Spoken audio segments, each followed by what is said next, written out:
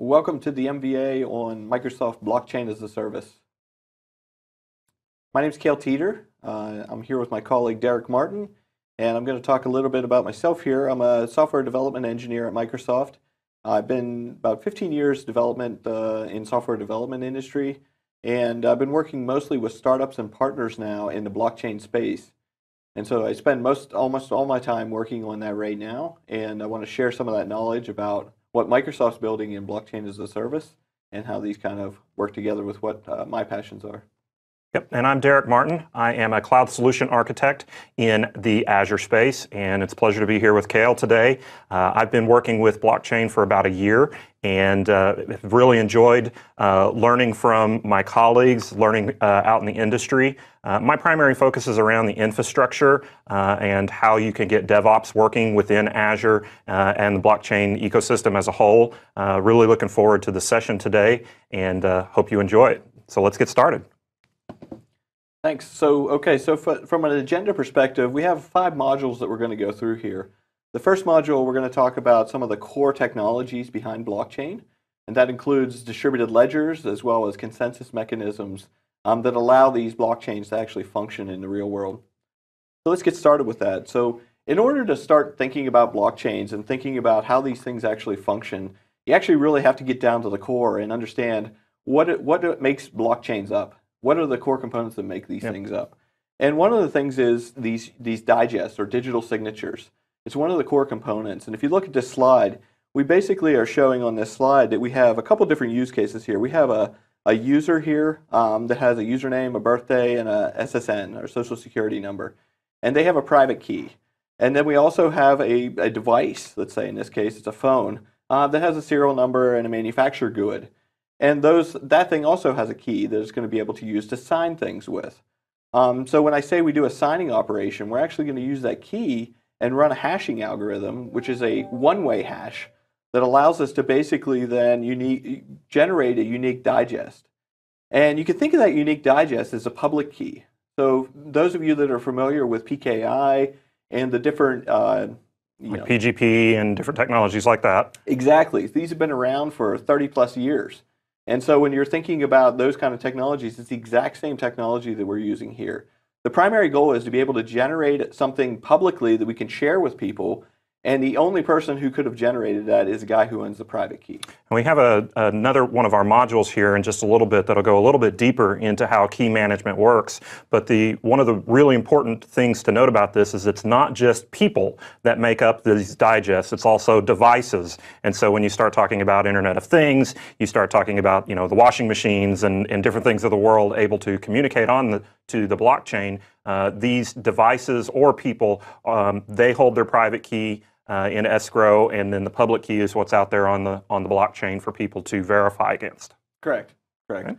So basically, in this in this model, you can see that when we bring those through, we generate unique hashes. Now, keep that in mind as we go to something a little bit more uh, advanced. If we start thinking about, well, we could do that for one device or one human or one object in the world. Uh, one other thing that we could do, though, is start to combine these. So let's say that um, in this case, we're talking about a phone, and we have a touch screen and maybe some memory that goes into that. There's many components inside a phone, right? And we're getting those from different manufacturers or different sources out there. And so each one of those things is unique, right? So when we get that memory chip, there's actually a serial number on it and a GUID from that manufacturer. Um, touchscreen is the same way. But then when we start to combine those together, we actually create another unique device, right? Because we're going to ultimately create a phone here, and that phone will have a serial number and some sort of GUID that's going to map to a unique object in the world. Um, so if you think about this, we can generate those hashes just like I showed on that first slide, and then we could take those digests and run those through a hashing algorithm, and then we get another unique hash. And so now what we've done is basically created a unique digest here, or public key, that if any of those components change for some reason, like if somebody went back and tried to actually change one of the public keys for, let's say, the touchscreen or the memory or any of these different components that are in there, it will break, right? Because it, the calculation won't work out for the second one. So it's not just the person and it's not just the object. In these composite objects, we're talking about the person and their object. So it's Cale and his Microsoft phone equal a composite object that can interact with the blockchain as an independent unit of work. Sure. And you can even think about it as a device, just components inside of a device. all those little pieces that make it up. If you think about a car, for instance, it's made up of millions of pieces. When they put that thing together, um, we can actually generate a hash, and we can ultimately get to one hash or, or one public key or digest over the whole car and basically could describe and you could go back and look at all the hashes that make up every bolt and nut and computer and everything that's in that car um, so it's a unique way to kind of start to combine those and it kind of folds into what is an actual blockchain because what we're thinking about with a blockchain is we have a bunch of transactions that we're going to sign and they're a composite right because Right. there's a bunch of those things and we're going to smash those together and create a create a unique hash So once we have our objects, whether it be an individual or a thing, and then the composite object, then how do we get from that point to a block? Right. So when you think about blockchains now, so let's we, we talked a little bit abstract there about devices and humans and these things that we could sign with these keys. When we start talking about now really getting into what's a distributed ledger and what's a blockchain, um, the idea here really is that we have transactions that are going to interact with a blockchain. So think of it as a similar to like a database, right? So we're going to make some transactions into that. We're going to do some write operations that's going to come into this thing. When we do those, they don't happen real time. Uh, if you look at this slide, you can see there's three humans here on this slide who are interacting with a blockchain and they're sending transactions in, and they're all different hashes on those transactions. So again, every time you go to put something on the blockchain, a write operation, we're going to use your key and we're going to sign it. Now we know for sure that came from Derek or it came from Cale. We know 100% because he's the only one who has the private key that could have signed that thing. So, in the general sense, from where people are uh, most familiar, and we'll talk about different types of chains here in a second, but if I was going to uh, buy a Bitcoin or buy an Ether token, uh, I would sign my transaction. That's why it requires you to put in your password each time. That unlocks your private key. That signs the transaction and then sticks it out here onto this chain of blocks, and then those blocks build up over time. Is that Sure, and we'll talk a little bit in a couple slides about how that operation actually functions. But from a high level, yeah, that's exactly right, Derek. We basically are going to collect all these transactions together, and at some point, we need to create a block. Now, there's different ways to do that. If you look at different blockchains like Bitcoin or Ethereum or even some of the proprietary ones, um, that's kind of like where the secret sauce is, right? How do we figure out how big to make that block and the different parameters that we can kind of feed in to make this blockchain work? So tell me a little bit about headers. And so we're looking at this slide here around chain of blocks. Uh, what makes up a block? We've got a header, we've got some transactions, which is some keys moving around. What what goes into play here? Yeah, so the thing to think about here again is think about it like this. We took all those transactions that we built up. In this case, on the slide, you can see we have three transactions. So we hash those, and now we're going to write a block with those. So when we go to write that block, we obviously have a header now. If it's the Genesis block or the first block on the blockchain, um, we already have that header in there. Um, and basically, what we're going to do now is pack our transactions into there. So we're going to have a list of all these transactions we have in there. We're going to have our hash, and that's going to form what's called a Merkle tree. Mm-hmm. So the Merkle tree is basically saying, okay, now we got this one block up here. Now when the second block gets created, as you can see on this slide, he's going to take the header from the first block and he's going to take the transactions. That's what he's going to use to build his hash. Now you can understand that we have a hard link between these. Nobody can change that history now. If somebody tried to tamper with block one, it'll break the chain because it won't work now. Block two will say, no, that doesn't match with what I have. And so you can think about something as, as big and complex as Bitcoin now has been out since 2011, and all of those blocks since the very first, the Genesis block, are mathematically linked in this Merkle tree that go all the way back. And so you can verify and validate that no transaction has been forged, uh, nothing has been removed, and it really builds this immutable ledger that, uh, that we're talking about here. And so uh, let's talk a little bit about how these different types of blockchains work. I've, I've been using Bitcoin as a good example, but there are others as well. Yeah, we could talk a little bit about the two different types. These are so. Let's talk about from the public sense, and then we can talk a little bit Yeah. from the private side. Um, so from the public sense, like like Derek had mentioned, I think it was 2009, Bitcoin had come out. Ethereum's relatively young. I mean, it was last year around this time, around November, that uh, that came out. But essentially, they're two different models. Um, they're both using blockchain technology. So the the concepts that we just talked about with how chains actually get created, very similar between these two when you talk about Bitcoin, you're talking about what's called UTXO or unspent transaction output. And we'll talk about what that means in the next slide and how that kind of functions. But really, think about it as a way to cal- calculate your balance. Bitcoin was really created around a way for you to trade assets, essentially. Um, There, there's a block inside of there, so there's basically an 80 byte uh, chunk at the end of these blocks that you write in a Bitcoin blockchain that allows you to kind of pack some other stuff in there, some data. And that's where people have leveraged it to do other things with Bitcoin. Right. Um, so if you look at the core, you don't really need to do a lot with that. Like Derek mentioned, you can sign a transaction that say, I want to take some unspent transaction output and transfer it to Derek, I, I as myself. And we can make that transaction actually happen through the consensus algorithm that's built into Bitcoin. Um, but if we want to do something more advanced and have scripts and different things like that, we'll talk about in some of our later slide decks. Um, there is some features to, to enable. You have that, 80 byte window to Yeah. work with in each block. C- compare that or contrast that to Ethereum, which it takes some of the great things about Bitcoin and evolves that into a, a what what we call a smart contract world, where things are slightly more advanced, and you have the ability as a first class citizen, instead of working it into that 80 byte uh, footer of the block. Uh, the concept inside of a smart contract is it is a computational device. It is intended to execute or store uh, state. So it's more than just sending tokens or assets or money back and forth. You're actually going to be doing uh, some more advanced things, and I think that's what we're going to talk about with Ethereum. Yeah. So the thing to think about there, like Derek had mentioned, is uh, you know if you think about these Bitcoin or these blockchains, Bitcoin was really like 1.0, right? He was this was kind of the first huge, and actually it's one of the biggest blockchains on the planet. And then Ethereum came out, uh, you know, relatively young, like I said, and and like Derek mentioned, it doesn't just do pure state. So we think of it as kind of 2.0 on blockchain.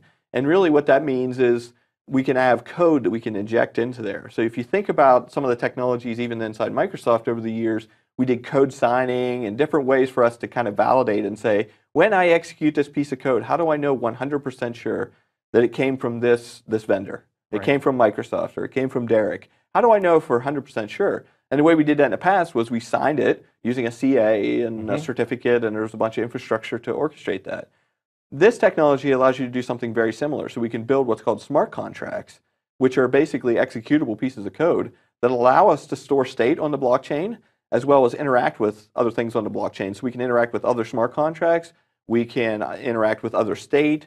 Um, so we can do things kind of inside of there. Now there is some walls around this um, in order to facilitate the immutability aspect and making sure that uh, people can't compromise the system and that it's totally deterministic. Yeah, and in, in the intervening modules, we're going to talk about some of the pros and cons of each of these two primary uh, blockchains. There are certainly others. Uh, this whole idea of a consensus or a distributed ledger has gained a lot of traction in the marketplace, uh, and there are all manner of different technologies being uh, invented that uh, take from both block uh, both from uh, Bitcoin and Ethereum. And so it's really neat to see what other kinds of, of chains are coming up uh, up and coming here in the world. But what we want to do now is kind of dive in and talk a little bit about uh, the details around what is a UTXO versus what is a uh, what is an Ethereum smart contract.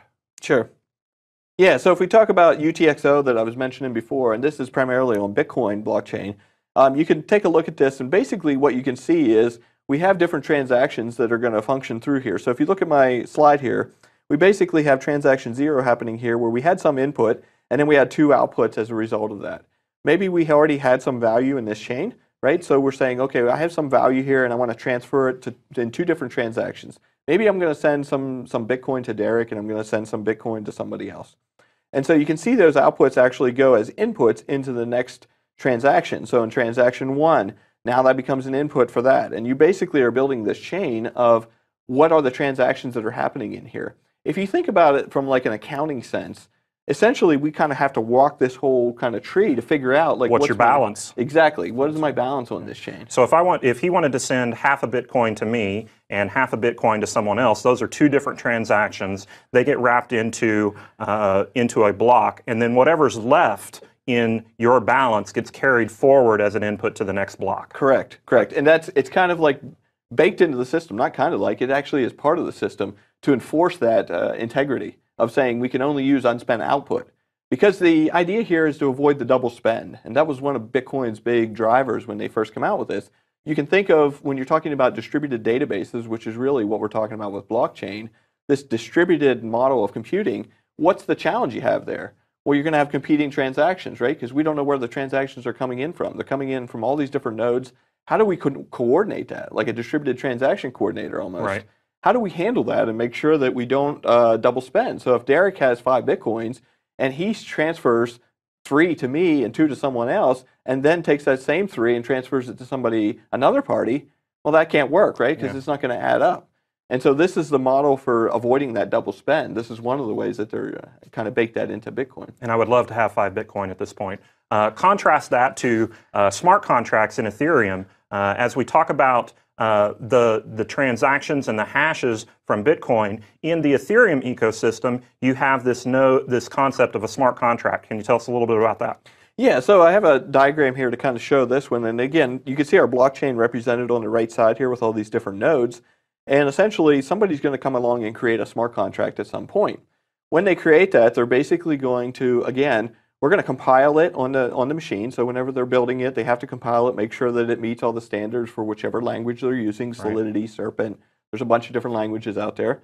And once they compile it and everything's good, we'll go ahead and sign that thing. And again, now we've signed it, so now we have a signature that says Derek created this thing or Cale created this thing. And then we can basically submit that transaction just like anything into the blockchain. And when we submit that into the blockchain, it'll eventually get processed as a transaction and then it gets an address. And so now we have the address that allows us to interact with that thing. So is it a composite object itself, or is it its own special thing? It's, a, it's kind of like a special thing up there, right? So you can think about it as an object that now lives on the blockchain and it gets an address, right? Okay. And when I say address, it's just like a hexadecimal address. It's kind of ugly to look at. But basically, what that means is now we have what's basically an interface to talk to that. If you think about in web services world, what do we do? We usually publish some code out there, mm-hmm. and then we tell people either through Swagger or through some other tool, this is how you use it. This is the interface. This is what parameters you got to pass in. Here's what methods you have up there that you can use, whatnot. This is the same thing. So we have what's called ABI file that gets generated if we're using Solidity. And that creates this interface that allows people to talk to the blockchain. So what would happen is Derek would say, hey, I published a contract, Cale, and it's at this address. And the ABI is here, and you can go get the ABI, and you can say, "Oh, okay, I know how to interact with that thing now. I know what Yeah, it's kind of like the it's kind of like the header, and inside that smart contract address, you're going to have a list of functions that you can execute on. And there are two different kinds of functions. You've got a read and then a write. Uh, reading is typically doesn't require Ether, and we'll talk about how uh, the financials of the Ethereum ecosystem work here in, in future modules. But you can read from uh, the state of the blockchain, and you can also write to the state by executing a smart contract, whether you're going to order a pizza or uh, sign an insurance policy or whatever the smart contract is there uh, designed to do. Uh, that's how you'll interact with it. Uh, and it looks very much like a web service call. Yeah, it's important to note what Derek had mentioned there about uh, the write versus read. So when we're talking about uh, uh, just a pure read operation on the blockchain itself, so go get all the nodes or get all the blocks in the blockchain and pull it down to my local client, doesn't cost anything from a sense. And we'll talk about what costing means here, like from a Ether perspective or or Bitcoin. When you interact with these databases and you actually want to do write operations, you actually have to pay for that, right? There's a because these were built in a public space. Right. Um, these are really funded by people who are using the system, right? So in order for you to execute something up there, you actually have to give us some value. Otherwise, you could just compromise the whole system and take over everything. But that also speaks to the real power of a blockchain ecosystem because you have an incentive for hundreds or thousands of different people to run their own node on the Bitcoin or Ethereum ecosystem. They get some value by providing compute power, but they also uh, provide the capability to secure that blockchain because the more nodes you have, uh, it doesn't scale perfectly linearly, but the more nodes that you have, the more secure it is because you reduce the probability that someone can impact 50% or 51% of all of the nodes and cause something else to happen, like steal all their ether or execute this contract a million times. Uh, that becomes less and less of a priority. And we'll talk about some of the design principles when you want to write your own smart contract, uh, things to think about here in, in the future. But you had mentioned something about you know these nodes, and they they have this value. They're also doing something called mining, and how does that work? Yeah, so in the in the current space in blockchain world right now, uh, mining is very big. I mean, this is it's called proof of work, so you might hear that term thrown around. And really, what the idea is, if you look at this slide, we basically have our blockchain laid out here, and this could be this is Bitcoin or Ethereum. Uh, it doesn't really matter. Um, they're both using proof of work right now. Slightly different implementations, but the same model. And essentially, what happens here is we have, as Derek mentioned, anybody in the world can come along and, and say, I want to put a node on this network. So right now, you could just go out and say, I want to stand up a Bitcoin node, or I want to put myself in the public Ethereum space and I want to create a node out there. And you could totally do that. So you pull down all the blocks. Now you, you're in sync with whatever the current fork is on, on Ethereum, and you're, you're processing, you could process transactions. Mm-hmm. Now, when I say you could process transactions, what's the incentive for you to put a node up there other than you saying, wow, this is really cool tech, I would like to see this work? Well, no, that's not real, right? In the real world, people actually want some incentive, and money talks here a bit, you know, yeah. especially in the public sense. So you have to pay for that computer. It costs thousands of dollars for you to build that thing and put it online. And so when you say, I want to devote a node up here, you actually want to get something back out of it. So the incentive model that was originally created here was called mining or proof of work. What happens is, we mentioned before that these transactions are going to pile up, and at some point we need to write a block. Now, who gets to write the block? What we do is say basically whoever gets to write this block is going to get some money uh, in the form of either Bitcoin or Ether in, mm-hmm. in the space that we're talking about here. So you'll get a percentage, and it's actually pretty big. You know, when you talk about Bitcoin or even Ether, you're actually going to make some money here. So what we say is we have to give you basically a really hard problem to solve. So we're going to give you a problem that's basically a hashing function that's going to require a tremendous amount of CPU uh, in order for you to figure this thing out. And it's the algorithm is set up in such a way that it's really hard to find the answer to this, um, what, what math problem we're going to give you, but it's really easy to validate it. That's right. So that's the special property about this math that's involved here. So what happens is we say, okay, here's the challenge, guys, go do it. And all these nodes are now going to spring into action and try to do that thing. So they're over here grinding CPU, trying to figure out the answer to this thing. And then once they do figure it out, say, hey, I got the right answer. Then everybody stops for a second and says, okay, validate that. Cale says he's got the right answer. And if they validate it and they agree that Cale gave, gave the right answer, which they can do very quickly, mm-hmm. they don't have to do the same function again. They can just check the answer. Then they'll say, okay, yeah, he wins. Okay, he gets it. And each of these different algorithms, whether it be um, Bitcoin or Ethereum or one of the other uh, blockchain technologies out there, that algorithm or that, that uh, computation is optimized for one or more different types of hardware. So in the Bitcoin world, uh, it's primarily optimized for ASIC hardware, so these things just spit out hashes left and right, hundreds of thousands of them per second. Uh, there are other blockchains that are uh, optimized to speak to GPU compute, some are CPU bound, uh, and so it's really kind of up to the development organization of that particular blockchain to figure out what type of equipment is going to be best incented to provide that. And that speaks to the scalability, it speaks to uh, the community and what type of controls they want to have around that. Uh, but those are just some of the more esoteric things that go along behind the scenes.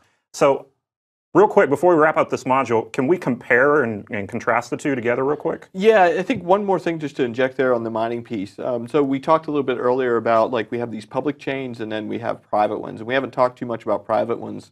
We'll definitely be digging into those in the different modules um, because that's really the value that enterprises are seeing with the blockchain. Right. Uh, I don't think that the, the financial industry, obviously there's a financial side to cryptocurrency which is Bitcoin and Ether. The token itself, the asset. Yeah, exactly. So there's a whole market built around that, and that's a whole kind of separate space. But there's also this space to say, hey, could we use the same technology inside an enterprise wall to do the same aspects that we're looking for? And the key aspects are these really strong security mechanisms right. with the keys, uh, the immutability aspect, being able to not be able to change it. This provides tremendous value in the auditing perspective. So if we want to do real-time audits, we can actually do that now and prove to an auditor that we didn't change it because right. it's impossible to change it based on the math.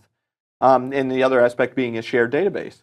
You know, this thing being essentially from a logical perspective, one big database that everybody's right. writing into. If you think about it from that sense. Now, obviously, there's a lot of restrictions around what yeah, we some can do. downsides. Yeah, yeah, absolutely. And we'll talk through that. But I just wanted, wanted to draw the corollary. And one of the things is mining that comes up. And mining is you know, there's a lot of carbon footprint there, you can imagine, because uh, as Derek mentioned, there's specialized hardware. It's very expensive. It uses a lot of electricity to run. So these kind of things, when enterprises think about it, they say, why do I need to do that? Like, why would I issue challenges even if I'm doing working with Derek? Maybe we're two businesses working mm-hmm. together. Um, there's other algorithms that are being built, and actually some are out there right now in proprietary form. But um, you know, if you look at some of the stuff that Ethereum's working on with Casper or Proof of Stake, there's different proofs that are coming out to be able to do those kind of operations so that we don't have to do this heavy carbon footprint mining. heavy carbon footprint, massive, you know, hundreds of thousands or millions of nodes to require uh, required to make it secure, those kinds of things. And, and again, we'll talk more about those uh, pros and cons in a future module in a future module here.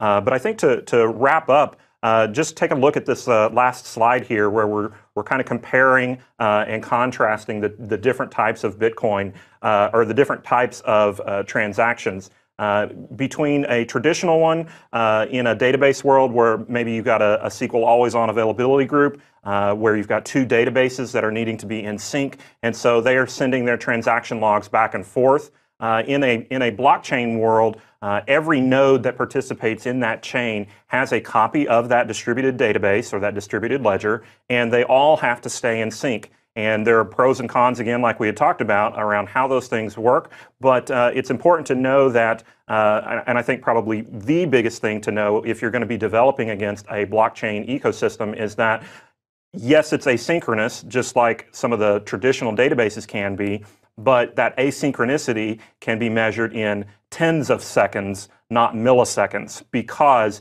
uh, that state has to be gathered from around the different net nodes in the network. Yeah, and I think the thing to take, to take away from this slide is really think about a distributed database versus a decentralized database. Big difference between the Big two. difference, yeah. So if we said in a traditional sense, we say how when we're going to create a database where we're going to fan it out, right? We're going to span this thing out uh, in a distributed fashion. We can do that today, right, with clusters. But the, the there's inherent trust there between those nodes. Like we very very tightly like know what those nodes are doing. So if Derek is a business and I'm a business, we're two separate businesses, but we want to work together. In order for us to, we couldn't set up. If I set up a SQL cluster, let's say, for instance, on SQL Server, and I Your said, Derek, you're going to on put a my- node. yeah. You know, there's got to be some really tight trust between. I don't want to let know. you on my domain to run the SQL uh, the SQL environment. Whereas in a Bitcoin or excuse me, a blockchain uh, infrastructure, um, I don't necessarily have to trust you. Right, and that's there's a huge point there, and we'll kind of hit this as these modules go on of being totally trustless, which is like the Bitcoin Ethereum world, and partially trusted, which is these private chains where we're basically going to have different nodes. So we have different admin groups. Derek has his admins, I have my admins, and we're going to work together. We're going to build nodes, but they're all going to talk together. So we can still manage it the way we want to manage it. Derek can manage it the way he wants to manage it, and we're going to come to a consensus around what the state of this data should be. Right. You know. Yeah, and we'll talk some more about those in the upcoming modules. Uh, for now, we'll close out this module. Thank you guys so much for watching, and we'll see you here in just a little bit. Thanks, guys. Welcome back to the MVA on Microsoft Blockchain as a Service. We're going to draw out some actual architectures here now uh, to kind of correlate with some of the lecture that we've given you earlier. Let's do it on our handy Surface Hub here. Yeah, so the first one I thought we'd draw out is we talked a little bit, Derek, about keys. Yep. And we talked that keys were very important to the blockchain and how we leverage keys. There's actually I see it as kind of two different kind of models for how we would do keys. So if we talk about um, basically, let's call this the fully decentralized. Don't misspell it. Yeah. There we go. And then we'll talk about over here, maybe this is more centralized, traditional. Okay. pardon my writing with my finger, but basically what, what we would do here is we're thinking about, um, you can think about it as this is the client and this is the server.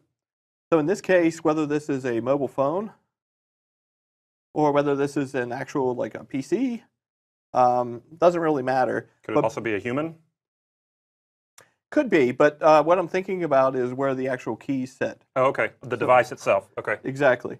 So I mentioned before that uh, some of the folks in our, our partner solutions with like uPort are actually looking at this exact model right here. So basically being able to use the secure enclave inside of a mobile device to actually hold your keys. Now you might ask, why would I want to go through all that trouble? I mean, writing to hardware seems very specific to a vendor. Seems like it'd be a lot of work. Why not just put it in software? Right. And one of the big drawbacks there is OSs have vulnerabilities. Sure. It's a piece of software. Right. Uh, hardware chips are less of such because they're more simpler devices. We can kind of harden them a bit more Right. uh, and provide that increased security. So this could be a TPM device. It could be the uh, the device we were talking about earlier, Yeah, we're even uh, look. Uh, you know, there's a bunch of vendors out there. You can go look at them USB. Like an HSM module. Exactly. So they provide a little enclave there inside the actual hardware unit of a USB key. You could plug that thing in and then leverage that. Okay. So in this model, basically in our DApp, um, our DApp would, up here would be our blockchain, and we'll just represent that with a series of nodes here that are all connected. And we won't do full mesh here, but you, you get the idea. So here's our blockchain, and basically our DApp would have a client side. So maybe this is in JavaScript, for instance. And then we would have a server side Okay. um, that's actually going to talk to the blockchain. This may talk directly through our DApp, through JavaScript, out directly into the blockchain, or we may have like a server component here, like an API or something that we're going to talk to. And so in that model, it would just go to the API and we could do proxying there. Right. But the point is, we don't have to focus so much on securing this whole network, right? So this may be going over the internet. Sure.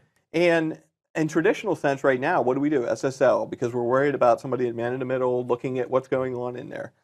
If you think about it, there's less impact here if you're actually signing data on the client, because the data itself that you wanted to protect is already encrypted over here. Right. Before Never it leaves the that enclave.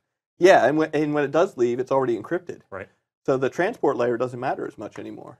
So I was always worried when we initially got started on this. I kept saying, "Hey, Cale, I'd, how can this be secure? Because it's talking over just plain old HTTP with you know RPC calls. But because it's already encrypted at the device itself, it's less of a concern that you also add the overlay of TLS and, and HTTPS on top of that. Right. Okay. So what about the centralized model? Yeah, in the centralized model, again, we're going to have our client and our server here, right? And so on the client side here, again, we're going to have devices. So let's say it is a phone, and, and we'll do our laptop again. That looks really bad, but that's okay. Um, and basically up here, we could leverage stuff like, and, and you had mentioned this earlier, maybe something like Azure Key Vault, Mhm. right? And then again, we have our blockchain over here. I'll just do it really quickly. So we have our blockchain there, and essentially we're going to make calls. Now again, we're going to have to secure the tunnel to get up to our service over right. here, That's going to be SSL. correct? And then we may have an API or something here that's wrapping this, so we're not maybe talking directly to Key Vault. Right. Generally, a good from a DevOps perspective, that's going to be a good idea anyway. Right. So we could basically have this thing proxy the calls to go get this. Now, what's cool about that is the keys don't have to leave the key vault. Right. Right. So if we keep the keys over here, so the keys are actually sitting inside of here, we're actually making calls from our API, which is all on the server side, to go say, hey, go sign this data for me. Now, the problem is the data was in the clear here, and that's why we have SSL. Right. And so what you're doing is it, you may gain some benefits of latency. You may gain some additional security enhancements by the fact that you can abstract this away from the client device itself. And but you also have the ability to, to make these devices, like uh, the phone or the PC, be uh, not instrumental in protecting the key, the hardware key itself. Correct. So it becomes a, this more, more utilitarian, whereas over here in the decentralized space, you lose the device, you're in trouble. Yeah, and I think the other thing you could do here, this is more of a retrofit kind of thing. So you can think about this is we already have apps out on these. So we may have an iOS app or a Mhm. Windows Phone app. We may have some apps out on our PC. They don't necessarily need to even know about blockchain in this case. Right. Right. They're just talking to an API or a, an MVC app or something over there. And this thing's handling all that complexity for us on the server side. Yeah, so you can see how there are some downsides and some uh, benefits to both approaches. Uh, it really depends on how you want to uh, architect your app and your solution. So real quick, let's also talk about gas. And we alluded to this uh, in the uh, other sessions, uh, but uh, can you tell me a little bit about how gas works, why you need it, how you execute on it? What does that look like architecturally? Yeah, so basically if we took a little diagram here and we said, okay, we have a we have a user over here who's going to interact. He's got some keys, right? So he's going to do a signing over here. And then over here we have our blockchain. We're going to get really good at drawing blockchains here, but I was thinking getting good at drawing circles, but that's that's another thing. yeah, so here's our blockchain, here's our here's our end user. And essentially what's going to happen is we have a contract that lives up here, right? Yep. So this guy already got uploaded by by some admin at some point, may have been a user, may have not. And this has a bunch of lines of codes in it, and maybe it has like three different methods, Mhm. um, which have varying levels of compute and storage that they're actually going Right. to be doing. So when this guy signs a transaction, so we have our trans right here. And we have an address, 0x, Correct. some sort of address. So this guy will be referenced in here, that 0x address. Just call it 111 or something. And then he's also going to pack along the params. Mhm. Now, what's actually happening, the flow wise, is he's going to submit this transaction. That transaction is going to go up here, and obviously, again, it piles up in a queue. And these are what construct a block. So each of these transactions, you'd have a block at this layer. Right. So these transactions are piling up here. Eventually, we say, okay, we got enough transactions, we can write a block. Uh, at that point, it's going to recognize that maybe this was T1. Okay. So he's sitting in here. This guy may say, hey, I actually need to operate on this guy. Here's my parameters. Here's my uh, address for where I want to execute it. Mhm. The first thing that's going to happen is it's going to validate those parameters. It's going to do type checks. It's going to make sure you got the right parameters that you passed over. If you don't, it gets rejected. The whole transaction will get rejected. Correct. Okay. And uh, back to the other thing. This is asynchronous, remember, because we submitted that. So you're going to have to check back in at that transaction and see did that thing complete. Okay. And you're going to get that re- error response that uh, you know about the parameters are incorrect or Okay. whatnot. I don't know the exact one off the top. of It's not at runtime, it's at block time. correct. correct. That's really, really important to understand here. Okay. now you've already compiled the smart contract, so you know it's sound. Right. But now it's somebody calling it. Right. So once that comes through, then we basically, uh, when it's time to actually process this block, each one of these guys, like we said before, is going to go execute this thing. Now, when they execute it, there's a there's a gas that's involved. So basically, you can add more gas, but by default, what it's going to do is look at, um, you know, there might be, and I'm trying to write some pseudocode here with my finger, which is really hard. They have these pins here. They're really cool. Yeah. And then you'll have like functions, you know, and, and it's just typical JavaScript, and you'll have some lines of code in there. Right. But basically, each one of these maps to an opcode. If you think about assembly language with C++ or even MSIL and how that gets Mhm. compiled down when it gets run at machine code, this is the same concept essentially. So we're basically like boiling this down and saying, here's the opcodes it takes to run this thing. And then it's going to basically it has a mapping table that says this means whatever 0.3 something in the gas or whatnot. So they have weights. And in and just for a terminology perspective, in Ethereum, gas is calculated in what unit of measure? Ether. In ether. Yeah. Okay. What Technically, it's actually in wei. in but wei? Yeah. Okay, so it could be this really long zeros and then a couple of numbers at the end. It's a good point. Um, so one ether, and I don't know. Again, we could, could drop that in, but equals like um, this wei calculation we keep calling, which is uh, essentially a universal currency measurement. Mhm. So it's not tied directly to ether. Um, this is the calculation, but it's like Derek said, it'll be a really long number. It'll Right. be like zero zero zero one. You know, really long. Um, so when you start working with Ethereum, you'll notice that right away. You'll be like, you don't have enough gas. Right. And then you figure out that it was in wei and you start playing Right. around with that. And so just to tie that up, every function or method in your environment, in your contract, is going to have a corresponding opcode that automatically gets mapped to it. They calculate all of that up together to the contract level, Mhm. and then when you execute the contract or a function on the contract, it's going to require some amount of wei to actually perform that operation Correct. across all of them. I don't have to multiply it. It's it's that one unit for the entire network. Yeah, and the interesting thing that you can get into here, like at, at, if you looked at a single smart contract, this makes sense, right? It's like pretty straightforward. We add up the opcodes, we got it. But like we talked before, this will actually be a chain of smart contracts, right? Mhm. And so there's all kinds of paths that could, could, could happen there. If we have static paths, we can figure it out right away and say, Right. what is it? But if we say, what if there's stuff that's like a recursive loop? Right, I want to do it in here, Yep. and it's calling back over here several times. It's dynamically calculating Correct. the wei based on all the opcodes Correct. of each contract. So you could get it where it starts, and then it could run out of gas, and you'll get an out of gas uh, error message when you see that kind of thing, and that's what you know what happened when you did that. Oh, maybe I'm actually calling some loop or Too something. much happening. recursive. Okay, yeah. great. That's good. Good overview. Good architectural diagram of both key management and gas. Uh, I hope you enjoyed this architectural drawing session. Talk soon. In this demonstration, we're going to walk through the Ethereum Consortium blockchain template. This is a template that was created by the Microsoft Product Group in order to make it easier to spin up an entire network of, of private Ethereum in your own Azure account. Now, in order to do that, I wanted to walk through a couple things. The first thing is when you come up to the portal here, uh, the first thing you want to do is come up here to the top right, and up here where it says New uh, is where we're actually going to click on. So we're going to click on New. And then we're going to type the word Ethereum. And you'll see a bunch of them come up. And the one we want is the Ethereum Consortium blockchain template. It's right here. And if we click on that guy, um, there's a big description here about what this does. I'll go ahead and expand that. So you can see a description about what it does. If you actually click on this hyperlink right here, let me zoom in so everybody can see that. Right here there's a kind of a hidden hyperlink. This actually goes out to a TechNet page that kind of has um, Q&A, um, so you can put your questions and things up here about the actual template. You can see some people put some things.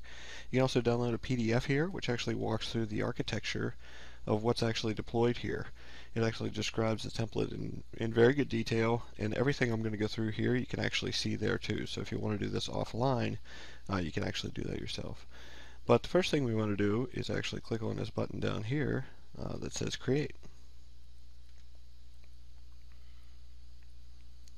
So when we pull this up, there's actually going to be a, uh, a couple steps here that we have to go through to actually provision it.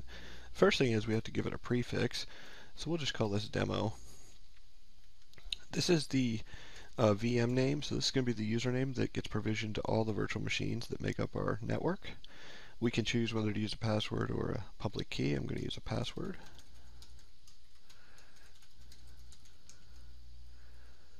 But we have to give it a resource group. So we'll just name it RG, and we'll give it a location. Now once we've done that, uh, the next step here you'll see is network size and performance. And this is basically saying how many consortium members. A consortium is, um, uh, you can think of it as businesses that want to work together. So in this case I'm saying I have two businesses that want to communicate, but you can see there's uh, a variety of choices here. You can go the whole way up to 12, which would be a rather large consortium. Um, and then inside the consortium, there's mining nodes and transaction nodes that make up the network uh, that will service the blockchain. And we can basically specify how many nodes we want for mining as well as transaction. And then we can pick our performance level of our storage. So if we want to use SSDs or hard drive, uh, we can also pick the high availability uh, and DR of our storage. So we're picking LRS, meaning we have three copies. We could also pick uh, GRS or read-only uh, GRS, which would basically replicate it automatically to a different zone.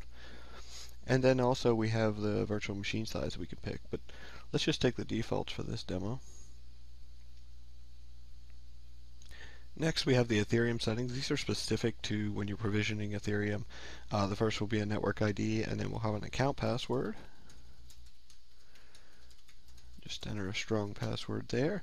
And then we have to enter a private key phrase, which is going to be used when they generate our private key. So we'll put that in. And that's all we need to do. So in this case, um, you're going to see it runs through some validation here. You can see it's running final validation. And eventually we should see validation passed. Uh, and that's what we see right here. So we'll go ahead and hit OK.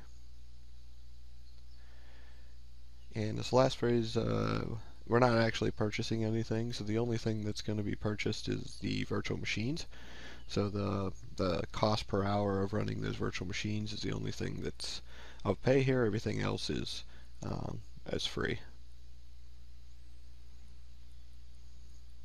So once we hit that, you'll see that uh, that pane goes away, and we actually see uh, deployment started now when you're in the Azure portal, one thing you can do when you see these is you can click on this little bell up here.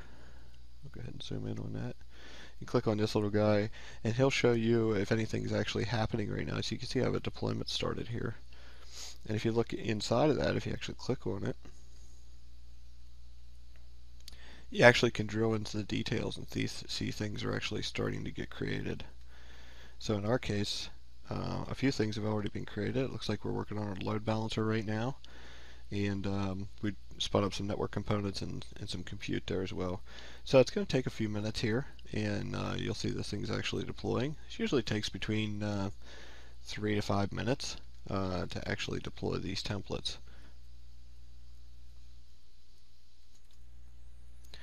Okay, so now that we have our uh, template deployed, you can see there's a whole lot of resources that actually got provisioned for us. And this is kind of the magic of these templates. So not only are we provisioning some virtual machines, but we're also laying down all the bits that we need on there in order to run this consortium network. Uh, so the Geth client, we're actually doing some configuration with that. We dropped the uh, load balancer in here. Uh, we have VNets and subnets that were all created for us automatically. And if you look at that documentation, it actually shows how these things are all laid out. Now, one of the things that we need to do is actually see this thing running. Now, the easiest way to do that is to look at this public IP here. Um, so it's one of our resources that's inside of here. And if we just grab that public IP address and put it in our browser, we see that we have a kind of a dashboard here and we can actually see some telemetry coming off of that chain. So this is showing we have one transaction node two mining nodes uh, for high redundancy and we actually show that these are the in the consortium so this is uh, consortium member 0 and 1 and uh, the block numbers are there we actually have a way for us to mint ether and so that's the next piece we kind of want to show is actually using this thing. So if we hit reload here, you'll see that the block numbers are going up. So essentially this is writing uh, empty blocks uh, because there's no transactions that are actually happening. But if we want to simulate a transaction, one of the things we have to do is uh, create a wallet and actually create an account and do some things with it. Now in order to do that, we need some Ether, right? Um, so this uh, little tool here at the bottom will actually allow you to to fund an account with some Ether. Now this isn't real, this is just used in a private setting, uh, so the Ether has uh, no real monetary value in the real world, uh, but it works for our private network. Now the easiest way to do that, if you look in the docs, is to actually download this uh, component called MetaMask. Now I've already downloaded it, it's an extension for Chrome. When you click on this guy, walk through the provisioning, you essentially have to agree to the terms of service. You create a new vault, give it a password,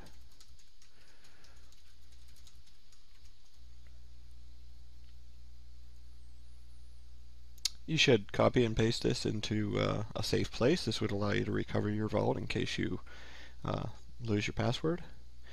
Uh, there's just a warning there. And then we have this account stood up. So this account is basically just created locally here. Now, one of the things we have to do is hook this up to what we just provisioned in Azure. So in order to do that, uh, we actually need to click on this. Uh, there was a little hamburger menu up here before, and then we're going to click on Settings. Once we click in there, we actually have to put the endpoint of where we actually want to go. Now, I'll zoom in on this because it's a little bit tricky when you first set this up.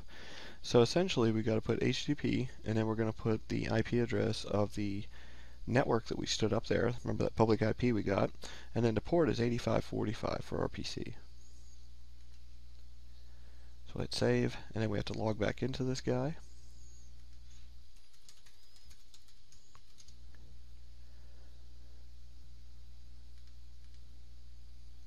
Okay, so we're logged in. We have an account here now. I'm going to go ahead and copy the address of this account. Um, again, this is just a local account. And we'll pop back over to our little tool here. Now what I'm doing is dropping the address of that one. So what's going to happen is you're going to see it, it says I sent some ether over there. Now if we pop back over uh, to our account, you see boom, there right away. Um, let me zoom in on that. It happened pretty quickly.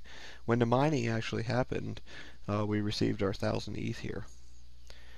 Now to, to further show uh, what we could do here, we could actually switch accounts here. And then we could basically create another account. Now this account's zero.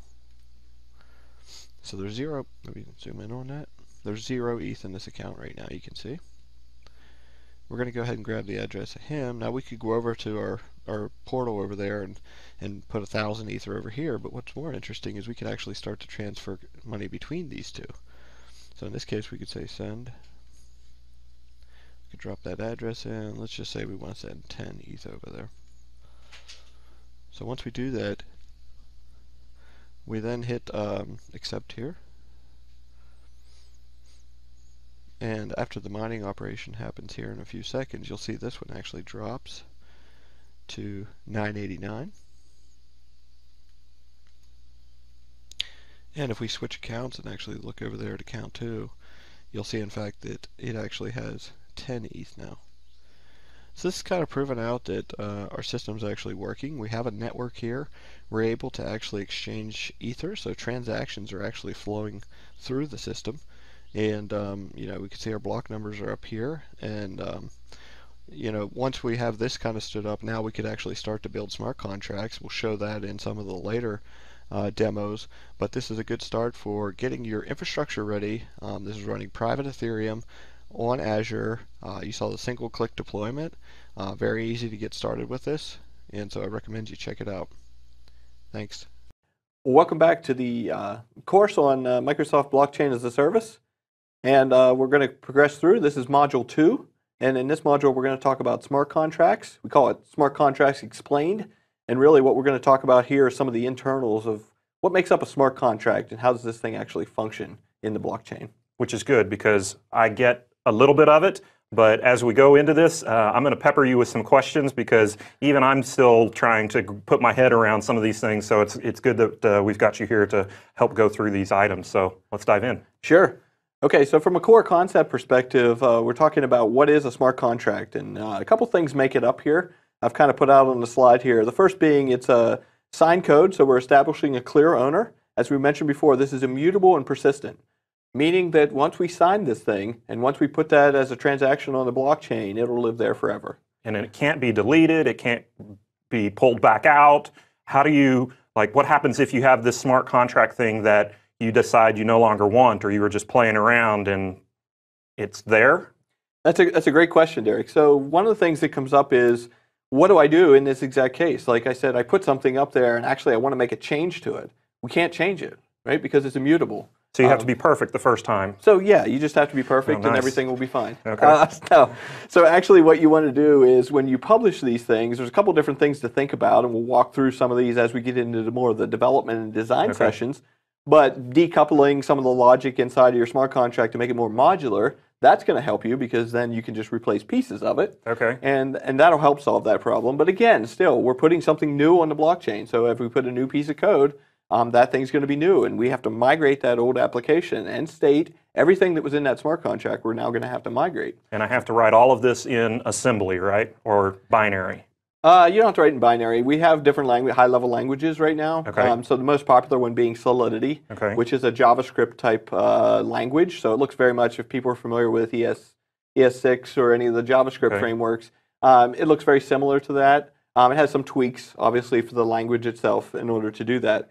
But the idea being, um, when we do have to replace those things, we have to migrate the data. It has state and code, right? And if we can decouple the state from the smart contract, that's one thing that we can do that can help us out a lot. So now when we migrate our code, we're just talking about the logic itself, not And when state. you talk about state, you're also talking about the data that it may uh, that it may be inside that contract. Totally right. So yeah, when we talk about state, uh, it's a good point. That's really like the data that we're talking about that we actually have stored up there in the blockchain. So in the previous module, we talked a lot about how you have these hashes, you have these blocks. Uh, how do these things execute? Where do these things go when you push them to the blockchain, the Ethereum blockchain? What happens then? Sure. So what the way this functions and the primary platform for smart contracts right now is is Ethereum. Um, so if we talked about Ethereum, essentially uh, there's an, uh, what's called an EVM or a Ethereum virtual machine that's actually going to run that code for us. So once we've published our contract, it doesn't execute it per se. It's just now put it on the blockchain and now it's there, just like a service for us to call. Um, so when someone comes along and says, "Yeah, I actually want to execute some code on that," they're going to create whatever parameters. So state, they're going to give us like some parameters and say, "I want to call this method on this smart contract up there." It's going to get passed into a transaction. Whenever that block gets mined, when it says, "Okay, now we got to do that block," that's when the Ethereum VM is going to be spring into action and say, "Oh, wait, you got a smart contract you need to execute. I'll do that for you." So it can take some time between the point where I put my request in before that block gets mined and then this thing executes. But it's also important to note that when we talk about the Ethereum virtual machine, it's not like an Ubuntu VM spinning up behind the scenes. This is just part of the Ethereum code base uh, that when the miner uh, starts doing the work on that block, uh, that those parameters get executed against the logic inside that smart contract, and then something happens. Correct. So you can think about it just like .NET. It's bytecode, right? So we, when we compile it, we're not we're compiling to almost like MSIL, right? We're compiling to this intermediate language, and then the EVM is going to actually run it in, in, in machine code, right? It's going to run itself out there, the opcodes that. it And just like if I were sending a transaction or some money between us, I guess you got to pay for that somehow. How do you do that? Correct. So one thing to hit before we get into the gas discussion is basically uh, I wanted to make clear that when these things actually execute, it executes on every node. Oh, Um, now so hold on. move through that slide. Say that one more time. Yeah, so uh, as you mentioned, there's a delay, right? There's going to be some lag between the time someone submits a transaction and says, I want to call this thing. Right. It's going to be totally asynchronous because it's going to get submitted at some point. We got to mine that block. When we mine that block, everybody executes this because I can't have Derek Derek spins up a node, and let's say he, he has an EVM running there, right? So whenever the code it says, hey, we need to run this method, and here's the parameters, Derek's node will run that, and my node will also run it as well. And then we're going to compare answers and go, here's what I got, what'd you get? Okay, and then when you compare those answers, you assume that they'll all be the same, and that's what secures uh, that contract because you've changed the state potentially. You are uh, setting new state, you're setting new transactions, you may be sending Ether around, uh, but uh, I assume then that in Ethereum, blocks have to be mined much, much faster than, say, for example, like Bitcoin, where you may have a block every 10 minutes or so. Yeah, and that's usually that's the model for Bitcoin. As you mentioned, it's a 10-minute block cycle, so that's what they're kind of. There's different kind of knobs and dials they can kind of tweak from a difficulty perspective inside their system in order to facilitate that and make sure they stay within that 10 minutes. Um, the other thing is, like you mentioned uh, with Ethereum, it's slightly different, so it's much faster. They're usually around 10 to 15 second block times. Oh, okay. Uh, much faster. Great. Um, and obviously, the smaller the network, actually, the faster it is, right? You can imagine because we're going to have consensus build faster. But the downside to having a smaller network is Security. security, because if you have uh, too many, too few nodes securing that blockchain in a totally trustless model, then bad actors or just bad code uh, can impact the stability of that blockchain very, very quickly. Uh, and so that's uh, some of the trade-offs that you want to. But, but back on this, how do you pay for having your Sure. contract ex- executed? Sure. So what's going to happen here, um, and if you look at this slide that I have up here right now, this is another core concept. Gas, you need it. Um, so we have this concept of what's called gas inside um, Ethereum that basically says, okay, in order for me to execute, what's going to happen is the EVM is going to look at that bytecode. It's going to look at like, what are you trying to call here? And it's going to be able to calculate based on the opcodes inside of that, low level code. It's going to be able to say, Derek just requested something that is very heavy compute. Like it has to do all these different opcodes, all this different stuff up here, and each one of those opcodes is assigned what's called a gas value, or like you can think of it as a cost. Like it's going to cost you this much to do this opcode. So it's going to calculate that for the entire smart contract and say, here's what he's trying to call. I need this much virtual currency in order to execute this thing. Okay, and so this gas virtual uh, currency has to be spent every time you call your smart contract or execute a function on that smart contract. That's correct. And who pays for that? Whoever's calling the function is actually the one that's going to end up having to pay for that. So this is really cool. I can create this great business on Ethereum and I can deploy my smart contract and then it's up to other people that want to use my business to actually pay for it to run. Correct. Okay, that's weird. Yeah, so the cool thing about it is what Derek had mentioned was like, you know, it's really cool that we can basically build a model and have it kind of scale out. So we're actually paying for some of that network because we uh, have Right. gas that's involved here. But also, it's it's a good kind of denial of service attack kind of. Because it costs Guard, money right. to execute it, you want to prevent people from just executing it millions of times and bogging down the entire network. You could imagine if somebody says, "Wow, you got this really cool network out here. Let me just slam it with tons of requests." A denial of service attack. Right. And if they don't have enough gas to do that, they'll eventually run out of gas and then they can't do it anymore. So it's a great kind of fail-safe there. All right, cool. What other kinds of concepts do we have to worry about when we're dealing with uh, these types of smart contracts? Yeah, so with smart contracts, one of the first things you're going to run into is there's different types of accounts um, that are established up there in Ethereum.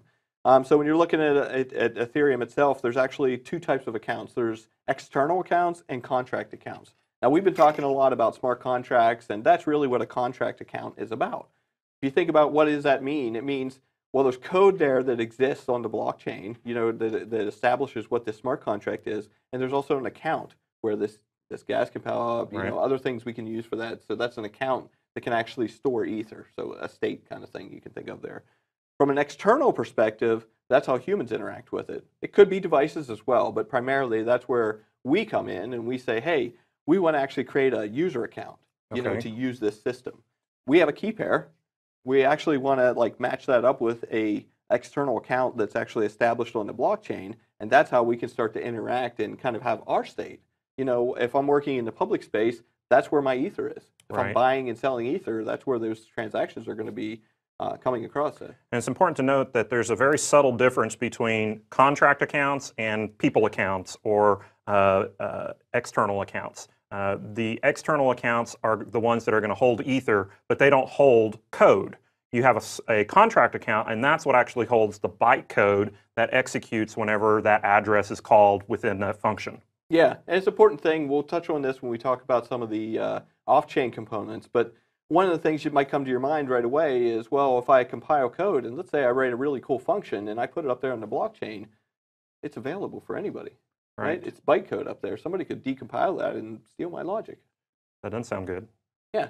So that's do one thing to that's one thing to consider as we go through this, and we have some kind of workarounds with off-chain in order to kind of help protect against that. So it's important to note that anytime you take, uh, you know, my, my brilliant business that I'm going to put out onto the blockchain, anytime you take that code and you stick it out there, uh, it's just bytecode, and somebody can disassemble that, and there's your logic. Uh, so it's like the ultimate open source repository.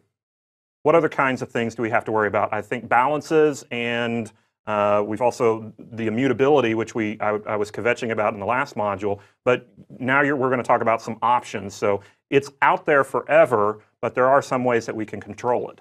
Yeah, so we have this module this way. Derek had mentioned early on in here about uh, what happens if I put something up there maybe it's total garbage. Maybe I was just testing something, or maybe I put something up there and I actually want to get rid of it.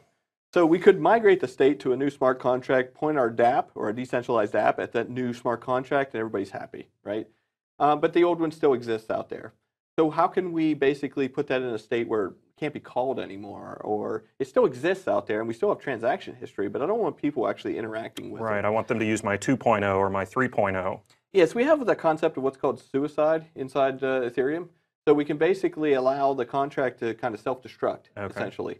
And what we have to do there is basically take that account balance, whatever's up there in the contract, we have to get that out of there because we can't have that sitting in there. And basically then we'll make the code uncallable, essentially. Um, so everything still exists out there, the transaction history from all of time, ever since anybody's ever interacted with that smart contract, it'll still be there on that blockchain and people can actually go look at all that history and everything. But if they try to transact against it in a new one, uh, they'll get an error response back saying you can't call that one. So So I assume as I've got my, my brilliant idea that I've put together on my whiteboard and I want to develop this thing, uh, it's probably a good idea for me to know that there are some additional limitations that uh, are going to be relevant to our, our smart contract. So uh, what are some of those limitations that we need to talk about? yeah, so I put a couple of these on the slide here to kind of get you guys your heads thinking around this kind of thing. But you can think about it; it has to be deterministic. When we do things with a smart contract, we have to do them in such a way that they can be repeatable. Because obviously, as we were going through this, you know that um, it's going to execute on multiple VMs at the same time or slightly the same time. It's not going to be the exact same time. Um, so making calls external, calling an external web service is a no-no. So what, time out. So what you're saying is that my smart contract that I've put all this work into is isolated within the blockchain itself. It can't call out to get like a, a stock price or anything like that. That's totally correct. So in that model, basically, we can't have this thing making calls out to a web service because you can think about it. Let's say we had 10,000 nodes on our network, or even 1,000 nodes, or 100 nodes. They would all end up calling. They would all call a web service, but it's going to be slightly different times. What happens if the web service returns something different for this node than this node? Then we don't have a good output. Yeah, because my stock price is going to change all of the time, and you have nodes from all over the world. So I can see why that's important, but from a developer standpoint, you're going to need to be very, very careful about how you architect your app because it's going to execute on all the nodes, from what you're saying, and I can't call external services because I might get a different answer each time it gets called, and it's all asynchronous. Yeah, and I think that the other thing to kind of hit on with Solidity specifically is these languages are relatively young, these high level languages that we're talking about. So they're still ways to get yourself in trouble there, right? So it's, it's a good thing, and there's, there's a lot of focus on this right now around this technology called formal verification and being able to mathematically determine whether you know the code that you wrote is sound, Okay. um, but also making sure that there's no bugs in the code because it's software, right? And there's going to be bugs in there, right? So And in a lot of cases, when you're talking about these types of applications, at least out on the public blockchain, we're dealing with actual human dollars and, and, and other uh, currencies. And so if your smart contract is not developed properly, uh, it can be uh, fairly financially risky uh, because your smart contract could get hacked and all of the money that is being stored as part of the state could be uh, uh, transitioned off. So there's a lot of tooling there, but there's a lot of formal verification that needs to go into play there, um, and it can be costly. I think the thing to think about there, though, is you do have the real time auditing functions. And we do have a lot of different constructs inside the smart contract. to kind of control the rate at which things can happen. Okay. Um, so those are kind of nice little gating points in there. And you, again, things to think about as you do development, and we'll talk more in the development session about this. But these are key concepts to really think about when you're doing it. Um, you know, making sure like you're guarding against these kind of bugs, looking at what the community community has already developed in this space. Right? We don't want to reinvent the wheel. Right. We want to do the same functions that somebody else is doing. We can basically have things that have been vetted out there. So now that we've totally scared you uh, with how how not to develop a smart contract, we're going to take a little break here and come back and we'll talk about some of the different use cases of where it would be a great idea to use something like a smart contract out on a blockchain. Until next time, we'll see you in a bit. Thanks. Welcome back to some more architectural drawings around blockchain. I'm here with Cale, and today we are going to talk about how uh, smart contracts and accounts uh, get created, and we'll also uh, spend a little bit of time talking about the different types of uh, designs uh, within the actual blockchain infrastructure. So let's go ahead and get started, Cale. Uh, can you tell me a little bit about how we go about creating uh, smart contracts and accounts in an Ethereum blockchain? Yeah, I think it'd probably be good to start with the account section because that's one of the first things people are going to run into. They're going to say, how do I actually just start creating accounts so I can interface with this thing? Because like I mentioned earlier, you can easily come into Azure and spin up a, a blockchain, or you can use, you know, like Derek had mentioned, Docker to spin up a blockchain. Right. It's very easy to get the infrastructure running relatively. Right. Um, but you know, once you get beyond that, you say, okay, now I actually have to use this thing. Right Like, now, how do I start what, working? Yeah, what it? happened? So let's start with accounts. So from an accounts perspective, I want to kind of touch on two different uh, models for that because we mentioned before that Strato is kind of unique in this space with the API. Right. So I want to kind of compare and contrast that with what we have going on in Geth, which Okay. is the public and private uh, client that, that's very popular in the industry. Okay, let's dive in. So if we talk to about Strato, let's talk about that first. So in Strato, essentially what we're doing, I mentioned before, we have a bloc server that's running that's talking to our Strato instance, right? Mhm. So let's represent our blockchain, and I'm not going to draw it out here again. We're just going to start calling it BC. So that's our blockchain. In this case, it's Strato. So essentially, we have an API that we're hitting against here, right? And then we're over here on our client side, we're going to have our, our DApp, our decentralized application, which is basically going to be talking to a bloc instance. Now, that, what's, what's kind of cool about this is the bloc instance can actually live on the client over here, or it could actually live up, you know, in the server Up in side. the server side. Okay. Right, so we could Very actually cool. stand that up here. Um, so we can Is share there a pro or a con to which pattern you take? Yeah, so basically, this is going to basically hold your key stores of the stuff that you're working with. And when I say key store, that's where your keys get generated. Okay. So in Strato, essentially, all you have to do is make a call to whatever your API is. So you're going to have your API, like your root URL, and then you're just going to name the account. So you're going to say, like in my case, it would be maybe maybe KLT is my my username, Okay. and then I pass some parameters in my HTTP post. So this is just a straight up HTTP post, and it's gonna it's gonna post into this through bloc into our API. Mhm. What's going to happen behind the scenes is it's actually going to generate a key pair for me, right? So we're going to get a public pair, a public key, and a private key. Correct. It's going to serialize that, and in our bloc instance, whether it's here or here, there's actually going to be uh, written to the file system um, a file, you know, basically with our stuff in it. Okay. So it's going to have uh, our public keys, our private keys, all those kind of things. Um, it's not. It's not going to have. It's going to have a derived key of our private key, so we don't have to worry about that that being shared or, Mhm. or being lost or whatnot. There's still a password involved. Okay. What I mean. Okay. So when that thing gets generated, one of the parameters you pass in is a password, and that will go ahead and create it. It's also going to give you a thousand ether, right? So you get started. nice of it. So you got a nice little faucet there. I wish we could do that in the public space because we could be just make lots of money Well, and then yeah. we wouldn't have to do this anymore. Um, but this is really cool. So we can basically spin that up, and it's literally one postcode that you can do, And then you get all of that. and you have your your account set up. Literally every time you do it, all you need to do is pass your password in and sign your transactions. Okay. Now, when we talk about, and maybe I'll do this with a little loop here. We'll just erase this guy. Mm, Okay. Well, we lost our thing, but that's okay. Uh, contracts go over here. That's all right. That's okay. We'll, we'll redo it from here. This is our accounts again. This time we're talking about what's called Geth. Okay, so first we were talking about Strato, which is a blockchain implementation as well as an SDK and an API. Now we're going more pure open source, uh, Go Ethereum from the Ethereum Foundation. Correct. Okay. So essentially, we have a blockchain, and if you remember, we talked earlier. This is JSON RPC, essentially. Right. So that's how we talk to a blockchain traditionally, Mhm. um, whether it's private or public. So over here, we're going to use Geth as a client. So it's a piece of software. Now, what's unique about Geth when you start getting used to this, you're like, the entire blockchain of Ethereum Runs on in Geth. that. It's a binary. Right. Like, how's that possible? Right. Like, it's one binary. One binary. It's got a lot of stuff going on. So you can basically pass a bunch of parameters to this to make this thing. Mhm. And then you can use this on your client side To be a miner. to be a miner, to be just a pure client. You can make Uh-huh. calls into your blockchain and say, Okay. You know, I want to create an account. I want to unlock an account. Okay. I want to talk a little bit about this unlocking because this this trips people up all the time. So when we first create accounts, yeah. Remember the Genesis block, we have some accounts that get created in there by default. Right. These are our, like our minting accounts, the first Mhm. ones that we get. But we can also then start to come in and create other accounts in there, right? Okay. Right. So when we create these accounts, the thing is uh, they're called personal accounts when we create them on the client side of it. Right. Because we haven't talked about contract accounts yet. Yep. Okay.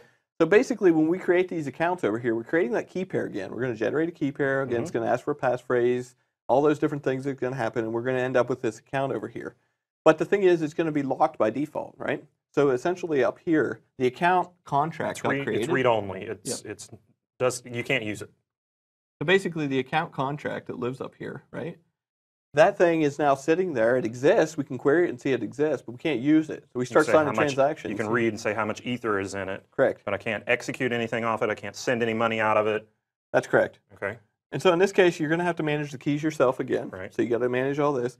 And in this one, you have to write a bit of code over here, right? So I mentioned Web3, and Web3.js to be specific is one of the most popular ones over here Mhm. to get started with this stuff. So when you get started with these blockchains, the first thing you're going to want to do is figure out what client library you want to use. This one being one of the most popular ones, and you can make calls on that. You can also make calls directly into Geth. So this is where things start to get a little muddy. Um, so Okay. basically, you can do some stuff here that also crosses over, and you can do from here. But from a practical standpoint, a lot of the developer world is hanging out here. Correct. They're using this as either their client or their miner. They're not actually making you know tons of code that calls in here. You're really going to use it over the Correct. Web3. I see a lot of people just using Geth to unlock accounts. So they'll come in as a developer and say, I just want to unlock this account so I can do these transactions and kind of play with this. Okay. If you actually look at the public code for something like Mist, which is a very popular client for Ethereum, you can download that. It's a um, it's a GUI based It application. sits right on top of Geth. It's really cool. Yeah, it's basically a GUI for Geth. A GUI for. Geth. Okay. Yeah. So it sits on top of there, allows you to do all kind of contract work. You can create accounts. So it's going to orchestrate a lot of this, so you don't have to write a lot of code here. Mhm. Um, but the thing is, if you look at what it's doing, it's actually making a call to unlock it just for you to do a transaction, and then it gets locked again. So contrast that for me um, between uh, accounts that contain Ether uh, that are owned by people or things. Uh, contrast that to a contract account.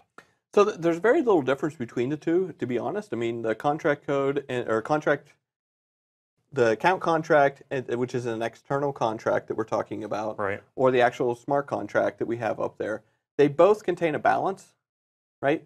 Um, the only difference is that we can do certain operations on it. So they know the type. Basically, when we create that uh, contract up there, Ethereum knows the difference between an account contract versus uh, an actual smart contract. And this is the subtle difference that we talked about in the first module is contract has code. Correct. Okay, so my Solidity contract that I'm going to write is going to go into a contract account. Um, it can contain Ether or no? That's correct. It can contain ether. It can It'll contain. Ether. Yeah. The, the difference is, is that an account contract cannot. It That's just has Ether.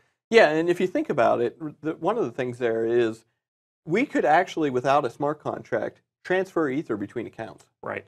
We don't even need a smart contract for that. Think about Bitcoin, right? Right. They didn't need smart contracts, That's right? just back we're, and forth. we're simply doing that triple entry that we talked about, where Mhm. we do, you know, escrow the money and that kind of thing.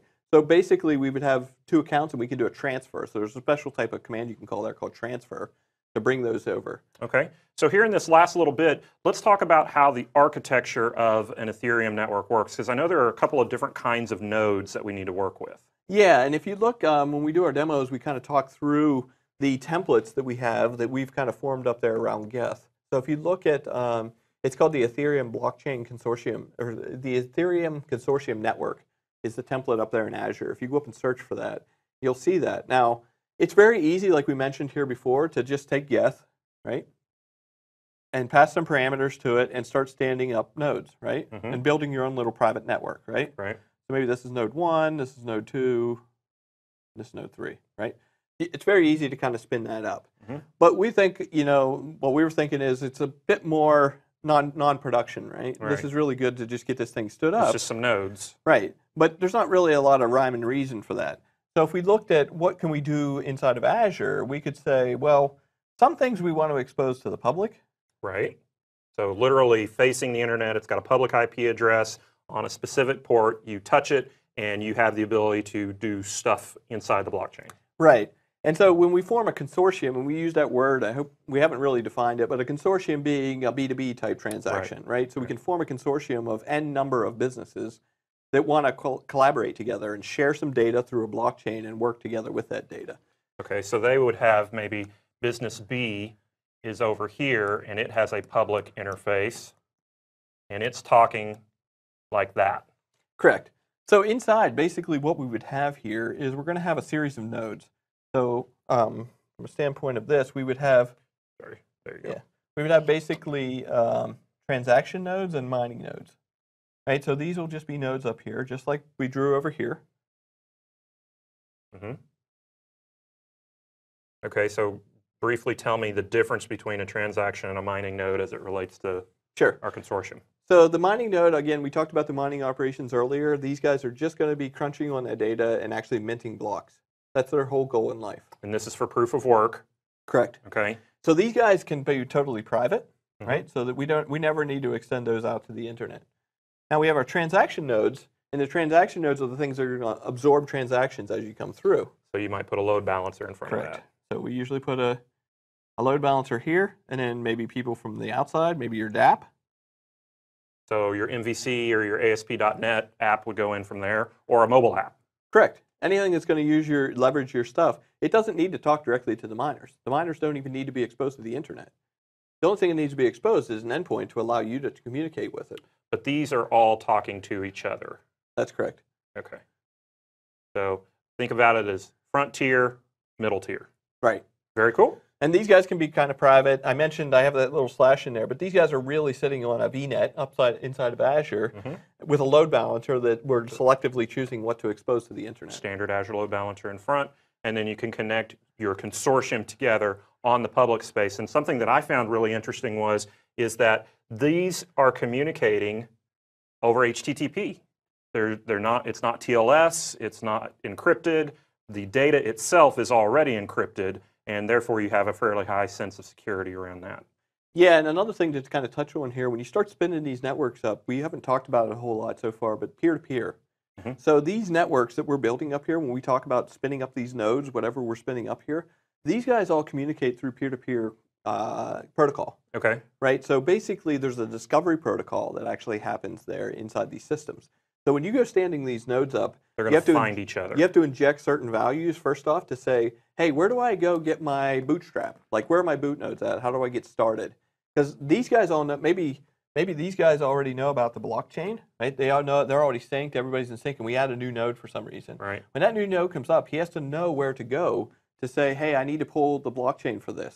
So we're going to have things like network ID, Correct. the Genesis, file, and then these would be seeds. These guys here are like my pointer files to get to the network that I know I want. If I left those out, it would probably take a really long time to find them. Yeah, and in the public space, I'll touch on this real quick because there's a lot of research and a lot of work going on in this space. Um, you'd think it's a simple process to do discovery, but it's Yeah, not. it- Um, when you think about the public space, um, the, this is what these blockchains were built around. You don't want to actually have, like, if these nodes are in close proximity to each other, that's cool. So if we spin up a new node and he sees that based on ping time, I got a node right next to me, I can use that guy. That's fine. But he also needs to go get a node from really far way away. Away. Yeah, absolutely. This way, somebody can't plant a bunch of nodes right next to you and compromise your system. Right. Because they might be able to just like hurry up and plant a bunch of stuff right near you, then they could change the way your node works. Absolutely. you know. Very good. All right, so that shows the architecture of both uh, contracts and uh, uh, the network design themselves. And uh, we hope you enjoyed this architectural design session. Talk to you soon. In this demonstration, we're going to talk about block apps and specifically the bloc product. Now, there's some dependencies here. We need to install a couple things in order to actually use bloc, so we'll walk through what's that mean, but you can think of bloc as kind of an SDK to talk to a blockchain. Now, this talks to a specific type of blockchain, and that blockchain being Strato.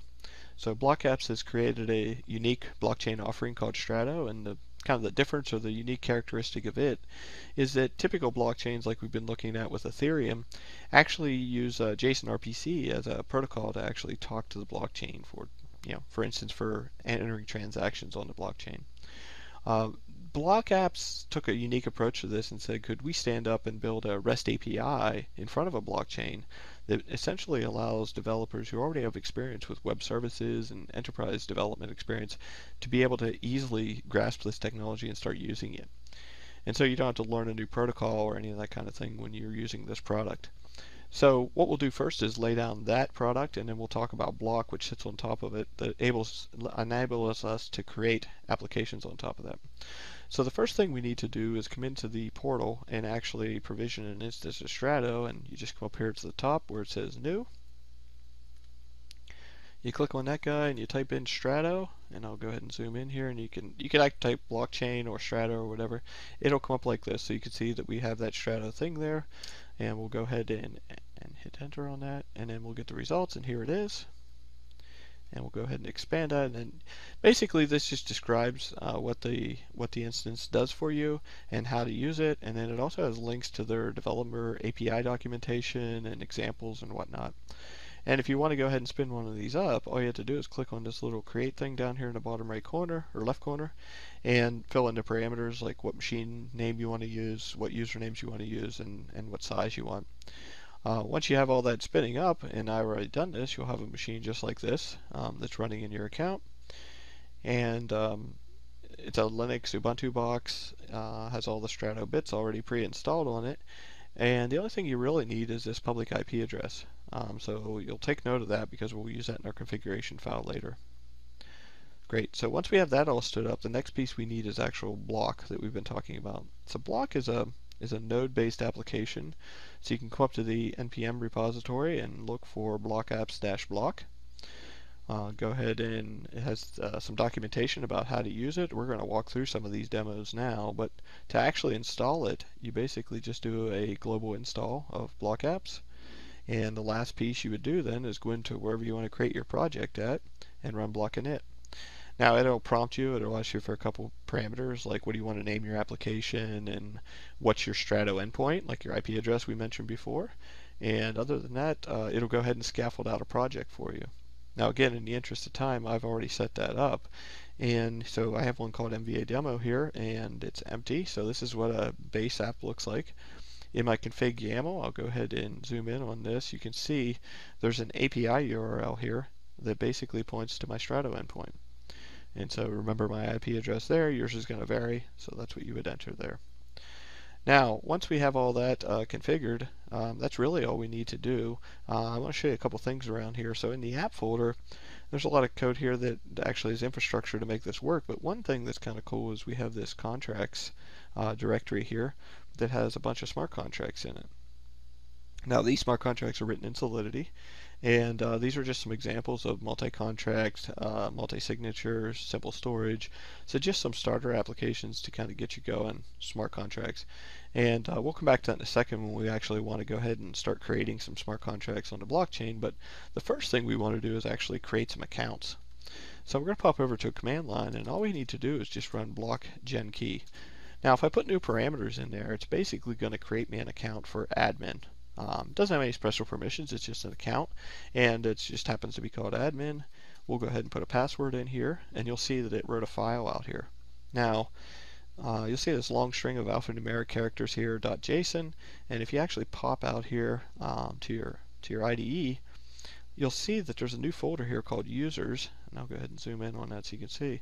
You can see there's a users folder now, and the admin's in it, and you can see a long string of alphanumeric characters again. So if we click on that, uh, basically, this is all the uh, salt values and the encryption. It actually has a an encrypted version of the private key here. It has the address of where this thing lives on the blockchain. So all the stuff that makes up those those key pairs that you generated there on your client. Now the address you can see is right here. Um, so it starts with 011A, and you can see this starts with 011A. So in fact, the name of the file is the address on the blockchain.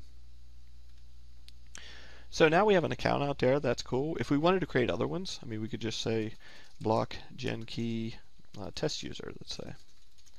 And again, we're going to be asked to enter a password of high entropy, and I'm going to use the really strong one of test right now. And basically, you can see that one got mined as well. So we created a external account, essentially, on that blockchain. And here's the address for that. And again, if we pop back over here into the users folder, you can see we now have admin and test user. So super simple to create accounts.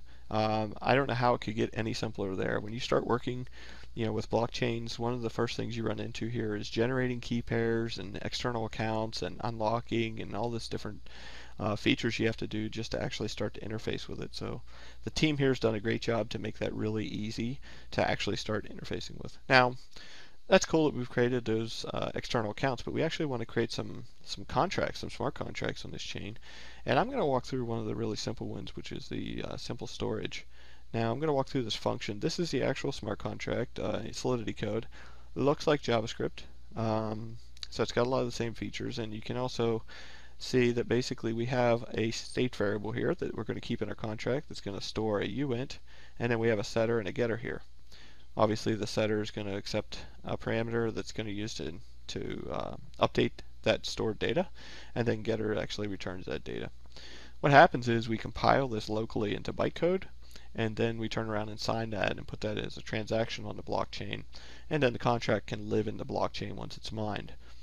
Then users can come along if they know what that address is and execute the code inside of the smart contract. Now the way that they would do that is create a transaction and pass in parameters. How do they know what parameters to pass in? There's a there's a simple format that gets created when we compile this called ABI. So the ABI actually lays out like the interface and says we have a setter here, a set function, that accepts one parameter that's a uint and doesn't return anything. And then we have a get uh, function that doesn't accept any parameters but does return a uint. Um, so that's kind of like an interface uh, description of what's happening there. So again, back to our command line. If we do a bloc compile, simple storage, and we don't have to put the uh, the extension on there of .sol. What should happen here is uh, we do a local compilation of that, so you can see the source code there, and then it actually uh, wrote out uh, to this meta folder. So if we come back out here again, look in our meta folder, you'll see we have our simple storage.json, and there's the actual binary, um, and here's the ABI that I was mentioning before. Um, so you can take a look at that at, at your leisure, but basically it's describing what's happening inside of there, and there's our binary. Now, that's just local, right? So we've just compiled it locally, but we actually want to put this thing on the blockchain so we can actually use it. So one of the ways we would do that is we would just do bloc upload, simple storage.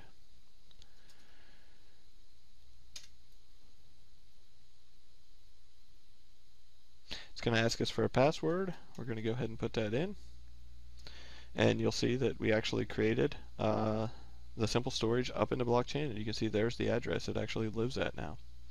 Uh, if we pop back out to uh, this interface, you can see that we now have a couple documents describing it. We have the actual source that we have, we have the one that lives in the blockchain, and then we have the latest.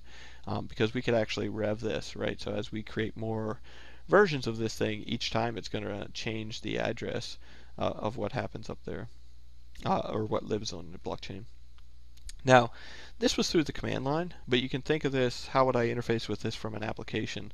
So what I have here is Postman, uh, which is a tool that allows you to interact with REST endpoints. Now, we don't have anything listening here right now, so what we could do is just say bloc start.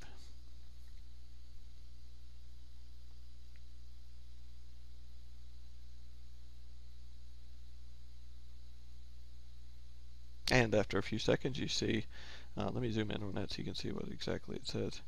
So basically it says bloc is listening on port 8000 and at the bottom API is pointed to and then it has our API endpoint. So cool stuff. We have a little listener now running here. And over here then we could start to make some REST calls. So let's just say we go to localhost port 8000 slash users. So what this is going to do is basically enumerate the users that we have on our local instance here. And in our case we have admin and test user. Now, if I forgot what the address was for admin, I could actually just type in admin there, and you would see we get the address back. And if you check that with what we have over there, you would see that it's the same thing. Now, we could also create users like we did before. Um, so again, from our code, you can imagine that we could do this in our code too. We could say demo user, right? So there is no demo user right now. But if we create one, and all we have to do in the body that's uh, URL encoded, we pass two parameters. We'll pass a password, and we'll just call this test and then we pass a faucet which basically allows us to give it uh, some ether right by default. So it's going to give some ether in order for us to execute uh, code on the blockchain. So if I click on that you'll see basically I get an address back because it just created a new user up on the blockchain called demo user and you saw some stuff flash by over here. You can actually see in debug in the console um, the actual REST calls coming in. So now if I come out here and do a get and say users I should see three users and you can see that we can actually see three users.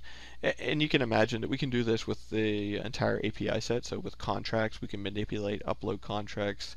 Uh, we can do all that stuff from the REST interface, which makes a really good interface uh, when you start working with this from your application. And so uh, that's the demo on BlockApps and getting started with it. I hope it was helpful for you. The documentation's all up there on their uh, NPM page, so you can take a look at that, and you can also review this video if it helps you. Thank you. Hi, everybody, and welcome back to the third module of our blockchain uh, talk here. I'm with uh, Cale Teeter and I, uh, Derek Martin, and uh, let's review real quickly where we are in our agenda.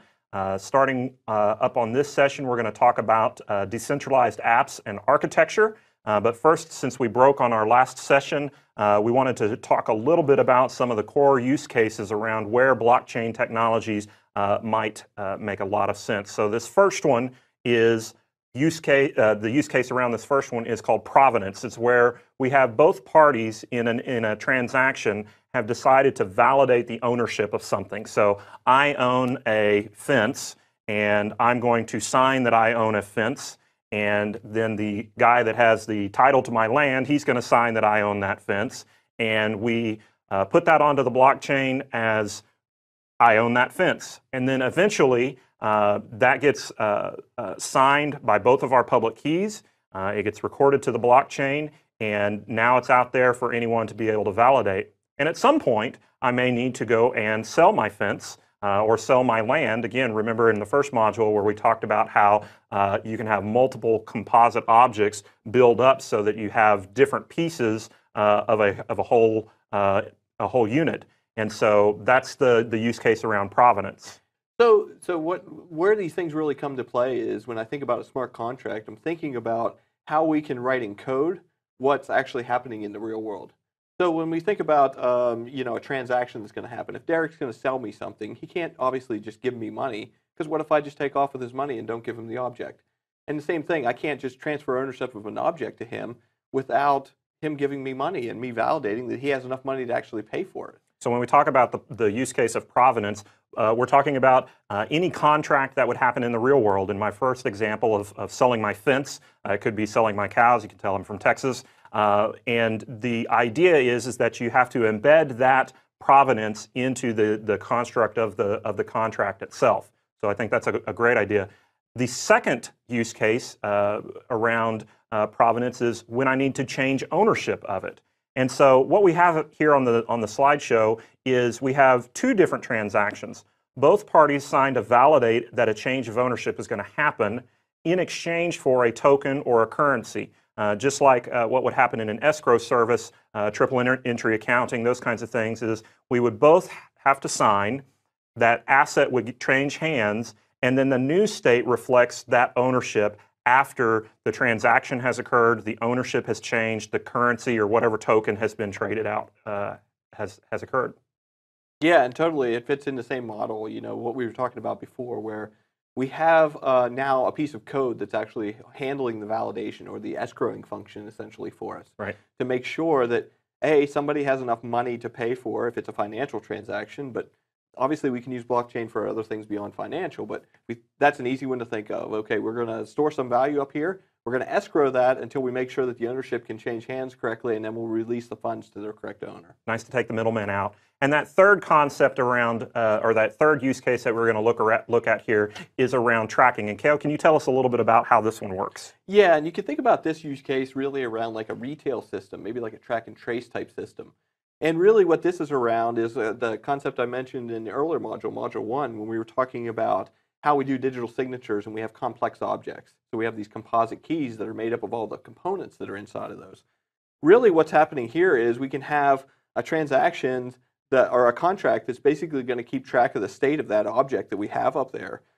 And the idea is that now almost real time, we can have people querying into that system. So when you think about a supply chain, for instance, Mhm. Those components typically for a product are coming from all over the place, right? There's some coming from different countries, different regions, all over the place. These pieces are all coming together to build a, an Uber object, essentially. Right. And that thing's going to be sold somewhere, so it's going to end up being transferred to somebody. Eventually, they're going to own that object, and it's going to have all these pieces that made it up. Well, what happens if, like, right in the middle of, uh, you know, the supply chain, something goes wrong with one of those components? How do we do it now? Well, the problem is with like in the rea- in the supply chain right now, there's very complex systems because there's different parties that all have their own databases and they're uh, synced. You know, if we say they're in sync basically because they built integration to keep track of okay, when I sent you this part, here's a batch of parts that I sent you, Right. and you're keeping track of that. But those things are never in sync. Right. So if we think about the shared database model that we get with uh, a blockchain or that kind of aspect that we get from a blockchain, this is really cool now. Now we have one central point that we can just like query into and say, what's the state of, of this component? is it's a single source of the truth, and it's also important to note that uh, that shared database or that shared ledger, it is not um, something that you're going to expect to run a query and get a response back in milliseconds. We're talking about tens of seconds because sometimes some computation has to happen. Uh, other other factors may go into play like network latency, but those are typically uh, issues out on the public blockchain. So what we want to do now that we've talked about some of the different use cases is switch into more of the, the private blockchain and uh, talk a little bit about blockchain as a service. And I've got a, a slide here where we talk about how does all of this work with uh, blockchain as a service from Microsoft. And what it allows us to do is uh, inside the Azure Marketplace, we have uh, a set of templates that have been designed that will allow us to deploy uh, different uh, flavors of blockchain technology, which you can then wire up with different Azure services, whether it be identity with Azure Active Directory, storage with DocDB, uh, a lot of very powerful reporting uh, components with Stream Analytics and Power BI. But obviously, that core chain technology uh, exists down on the infrastructure layer, and it ultimately is just a series of virtual machines. I keep joking with Cale that it would be great if somebody would uh, come up with a way to put a Bitcoin node in Azure Functions, uh, because then it wouldn't require all of the, uh, or an Ethereum node in Azure Functions, so it wouldn't require all of the uh, underlying infrastructure. But there's a lot of active development going on now. You can run an Ethereum node in a Docker container, which is uh, fully supported out in Azure with our uh, Azure Container Services. So, uh, what Microsoft is doing is providing a uh, central repository of all different types of uh, blockchain technology that organizations can get started developing their dApps with. So, let's transition now here just a little bit and talk about what is a dApp. So, we've, we've introduced some of the core technology around hashing functions, around keys, uh, and what all of these things do out in the ledger. We scared everybody in the last module of, of some of the bad things that can happen. But let's look here at this slide here around uh, a, a DApp and what it is. First of all, we talked in the previous uh, session that it's backed. Uh, its backend will be immutable and persistent. It's not great for general data platform to be used with all types of data. There's, there are specific types of transactions and, and database uh, constructs that are going to be great for it. However, that doesn't mean you're limited to those types of things. Uh, we're going to talk a lot about uh, off-chain type things where uh, you can store some persistent data for non-trivial data. Uh, that can be in Azure Storage, in Azure SQL Database, uh, DocDB, Mongo, anything that you can think of.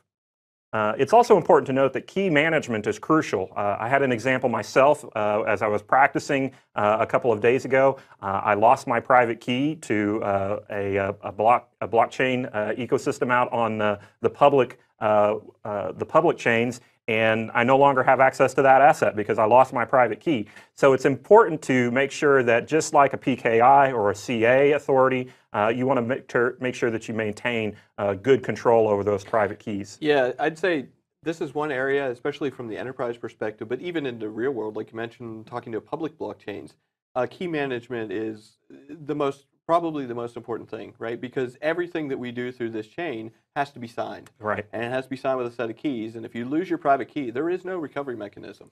And so inside of Azure, we talk about some of the different security features like Azure Key Vault uh, that make great examples of where you can store those keys as part of a security attestation service where your chief security officer actually has access to generate those things, keep them in Key Vault, and then issue them back out depending on how you write your DApp. Uh, so that uh, the private keys all stay uh, in nice, cozy, ensconced area. Yeah, there's a there's a lot of tech and, and innovation happening here. uPort is another one from the ConsenSys guys Uh-huh, that they're yep. working on.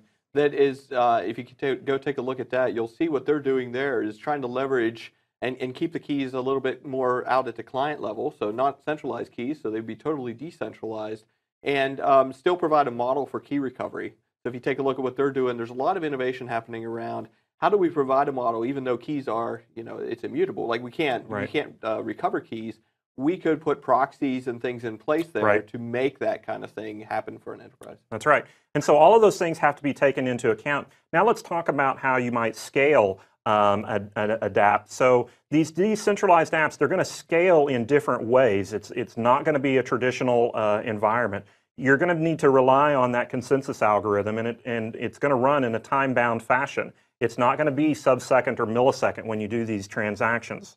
Uh, soft forks happen all the time, uh, and block depth can uh, can impact your application. There's there's some, yeah, Cale, dive into that just a little bit. Yeah, I actually wanted to dive in on the first point there Okay. to begin with. Uh, basically, um, what Derek was mentioning is totally true, right? So when we start talking about working with blockchains, it's it's asynchronous, as we mentioned before, and and the more nodes you get in there, essentially, to some extent, it'll be slower. Right. Um, and that's one of the key points I'd say when people start getting working with blockchains, and you'll see more in our demonstrations. You don't need to spin up a massive network in order to build a DApp. Right. Um, it actually makes sense to have very few amount of nodes that when you start building dApps. And we're talking about an enterprise environment where uh, you're in your own trust model, so you're not having to worry about uh, each of those different nodes being compromised. That's correct. And the idea is that you can take your time and develop that kind of offline, we'll call it, basically in your own private chain. Right. And then you could take your assets that you've built after you've tested them all, and then you maybe take that to the public. Um, Right. So that could be a model. So the thing is, you probably don't want to develop up on the public one. Um, now, there's different spaces to test. There's a test net that's out there in the public space that allows you to test stuff, but it's not real. So, like the Ether holds no real value in Right. the world. Um, and then what Derek mentioned is totally private, which is where kind of blockchains as a service shines because it's very easy to come in, and we call it single click deployment, but basically fill out a couple parameters, and you can have different types of blockchains running there. We have, you know, the Geth stuff with Ethereum, we Mhm. have Strato, and we have Chain.com. We have a bunch of different ones up there, so you can kind of pick your poison and spin that thing up really quickly, come back to it, and start writing your dApps, Right. you know, on top of it. So back on this slide here, as, as we start thinking about um, additional things that can uh, impact the scalability of your application, we're also talking about how soft forks and block depth, so it can take some time as your chain gets older, uh, your blockchain uh, ages, it can actually take some time to get to that state. It's going to scale pretty well, uh, but it is something that you want to take into account. Modeling of your network with mining that's required to make it fair for all members so that if, uh, if we're in a, a business-to-business relationship, I've got five nodes, you've got five nodes, that works out really well. But in, in a business-to-business relationship, if, if it's, it would be unfair for me to say, well, I'm just going to run one node and you're doing all the bulk processing, so you have to run five nodes. And there's a trade-off between how that happens and then obviously uh, what takes place when those, uh, when those code And the idea is there that even though we do have a partial trust because we're engaging in a business to business transaction, um, Derek probably still doesn't 100% trust me. He, he semi trusts me. So he'll say, mm-hmm. okay, we're going to go into a relationship together and we're going to have fair nodes, right? So he's going to have five nodes, I'll have five nodes. Now, if all of a sudden I say, no, I want to have 10 nodes and you have five nodes, I could control majority now. Right. Right. So you I- could break my if I injected something weird into my EVM and said, actually make the transaction happen this way, I'll always win because Derek's nodes, they'll come up with the wrong answer, but I'll have more right answers. So I'll say, okay, I win. Yeah, and so it comes back to how the structure of uh, the blockchain is very, very important. And we've been kind of harping on this, but it's, it's really key to, to understand. And we talk about it here on the next couple of bullets here. Uh, after you establish identity uh, and making sure that you've got a good, strong encryption model, it's important to note that more nodes doesn't make it faster. In fact, it can actually make it slower. So you're not increasing your computational power by scaling out, you're increasing your computational power by scaling up.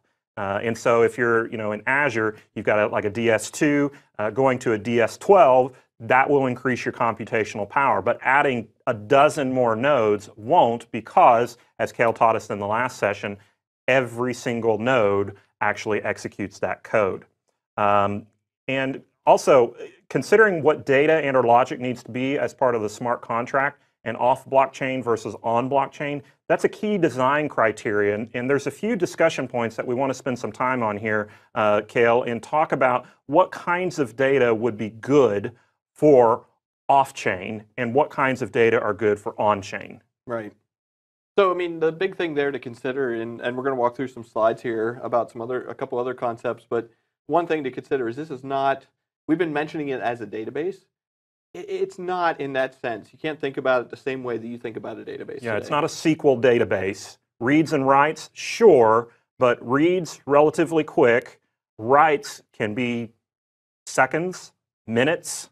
Uh, if you're over on Bitcoin, it can be hours. Mm-hmm. So it's important to know that uh, when you're having things on chain, plus you're also uh, bound by, like if you're in the Bitcoin network, you're bound by that 80 byte uh, inside of a block uh, you have to consider if you're going to be storing terabytes of data, you probably don't want to do that on chain. Correct. And the other thing to consider is uh, gas. So we mentioned in the earlier discussion when we did smart contracts in module two that gas is kind of important here, right? We're going to figure out these opcodes. Well, you can imagine that let's say we store tons of data. Let's say in our application, instead of having a bunch of smaller smart contracts to do our work, we just put everything in one big smart contract and we have all our state in there and then all of a sudden we have to change something. When we change it, we have to migrate. Remember I said before, we have to migrate that state to the new smart contract. Can't do that for free. There's actually that, an opcode to move there's that a, data. There's an opcode that yeah. requires gas, yeah. and so it can be relatively expensive. And so if you imagine, uh, I wrote a smart contract that stored cat pics, and I've got all of these pictures on chain. Now I want to uh, introduce a new function onto my smart contract for uh, dog pics uh, I would have to move all of that data uh, from my old one to my new one. And if you're talking about, you know, a few bytes, great, no problem. You're, you know, less than a fraction of a cent. But if you're talking about terabytes of data, then it can become very, very expensive. And so as we talk more about on-chain versus off-chain, on-chain becomes really good at storing uh, cryptographic hashes, storing uh, logical state, signing the actual backend data store of the off-chain data so that I can store my cat pictures and my dog pictures or at the beginning the provenance and pictures and, and the, the plat map of my fence or my cows or whatever. That can all stay out in Mongo or in DocDB or, or things like that. So those are just some of the, the key concepts to understand around uh, the, uh, the uh, DApp, off the off-chain storage, and, and uh, key concepts around the DApp that you're that you're wanting to work with. So we're going to take a break right now and uh, go back uh, and uh, get ready for our next module. And uh, we hope that you'll join us uh, here when we talk about DevOps. So take care. Welcome back to our architectural design sessions. I'm Derek. This is Cale. this session we are going to do some architectural designs around off-chain storage how they relate or contrast with oracles and cryptlets. And then we're also going to talk about some scalability uh, considerations with regard to your blockchain. So uh, let's start in uh, real, real succinctly, if you don't mind. What is the difference between uh, an oracle, a cryptlet, and off-chain storage? Because they are all off the chain. So what is the difference between them? Uh, maybe design, draw out how they are architecturally different. Sure. Yes, let's talk through offline storage first. Um, maybe what we can do is basically define what these what, what all these are, and then we can you'll see the differences between. Okay, yeah, let let's do that. Yeah, so if we talked about, let's just label it here, offline storage. Offline, off chain, Oh yeah, not, I'm not sorry. on the chain. Yeah, let's go ahead and uh, make it off chain. Because it might necessarily might not necessarily be offline. Right. So offline storage, okay. So off-chain storage, basically what we're talking about here is the model that we talked about before. So when we're talking about storing things up here, whether it's Bitcoin or Ethereum, we definitely have to be cognizant of how much data we're storing in there. We can basically break up the data contracts and have a bunch of little data contracts holding data. That's one model that we could use.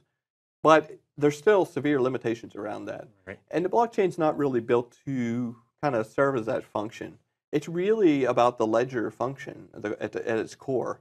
Being able to prove that something uh, originated from somewhere. It happened, Yeah. it exists, you moved it, that kind of stuff.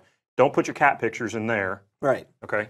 So basically, we have this big ledger here um, that we've been talking about, and this is our transaction log, for lack of a better sense. You know, so this is our translog, uh, just like a database, and that's what we're keeping track up there on the blockchain.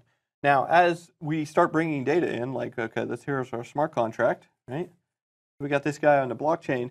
He basically, instead of storing all the state in here, which we totally could do, you can start Right. storing state. Eventually, you're going to hit a limit um, to what you can store in there. Because it'll just get slow, it'll be too hard to upgrade because you, it's expensive, okay, yep.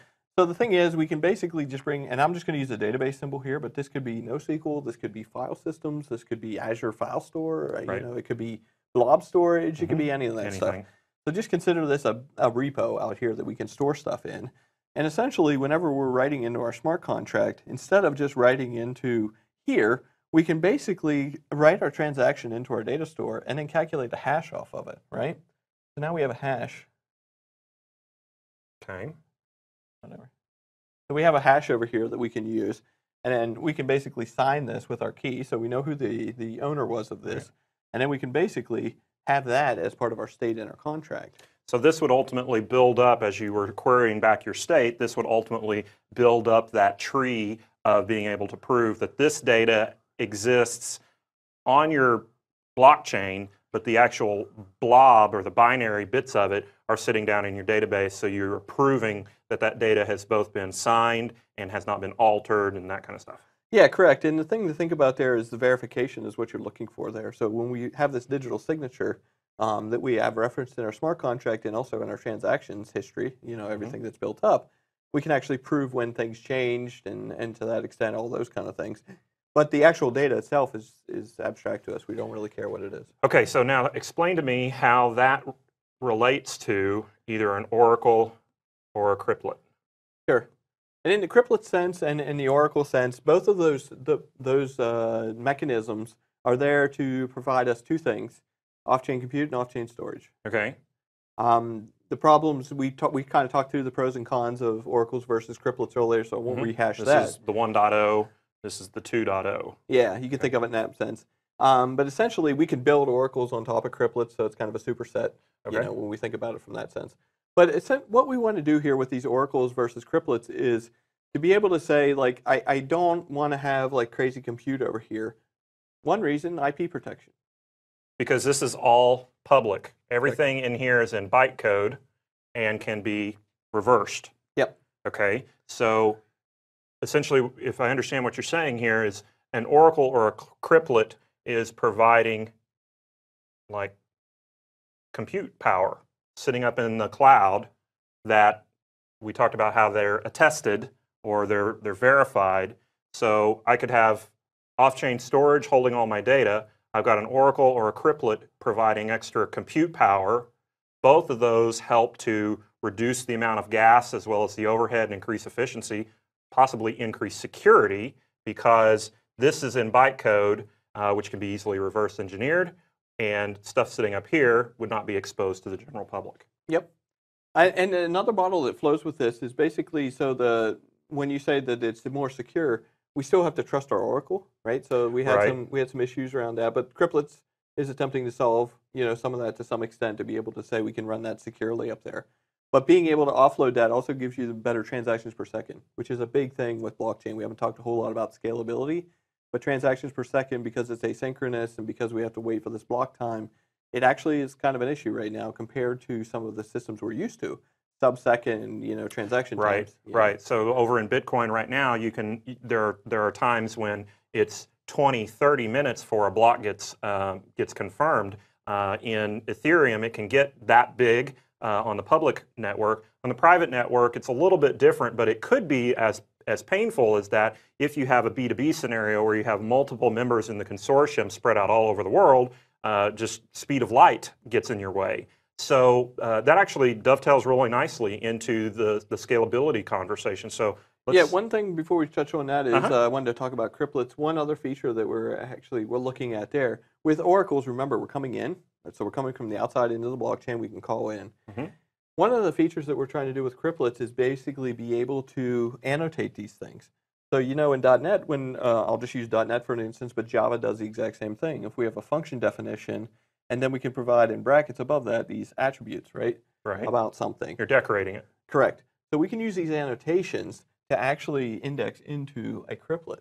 So we can say, Mm. hey, when you execute this function, the variables that you're going to use, actually, I want you to go get them out of this thing. Okay. Uh, when you go to execute this function, here's the code I want you to execute first. You can delegate actual calls over to this cryptlet and have him go do some compute for you and give you a result, or just give you some state back. So that really provides a way of separation of concerns. I mean, you're, you're putting the compute elsewhere, you're putting the storage elsewhere, and you're using the blockchain for what it's really good at, triple entry accounting. And, and anchoring, right? Anchoring. And anchoring, that's Yeah, right. You're going to attest that that data is valid or that compute is valid. Correct. Okay, great. Cool. Scale? Yeah, from a scaling perspective, Scale, Cale.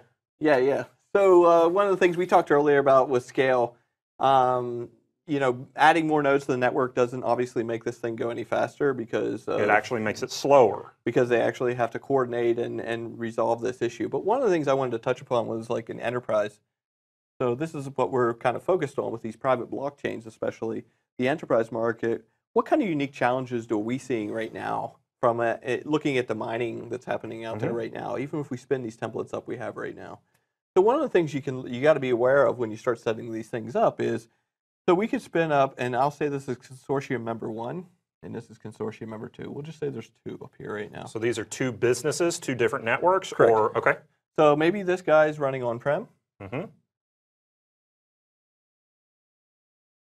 and this guy's running in Azure, right? Of course he is. So basically, this guy says, I want to spin up a bunch of nodes, mining nodes, and let's say there's three of them. And this guy says, I want to spin up three nodes. So now there's 50% here and 50% here, Mhm. right? So no matter what happens, as, as Derek was mentioning, when the confirmations actually happen for the transactions, neither one of these guys can take over the system. And that's simply because they're sharing the same amount of compute, they've got the same amount of voting power. Correct. Okay?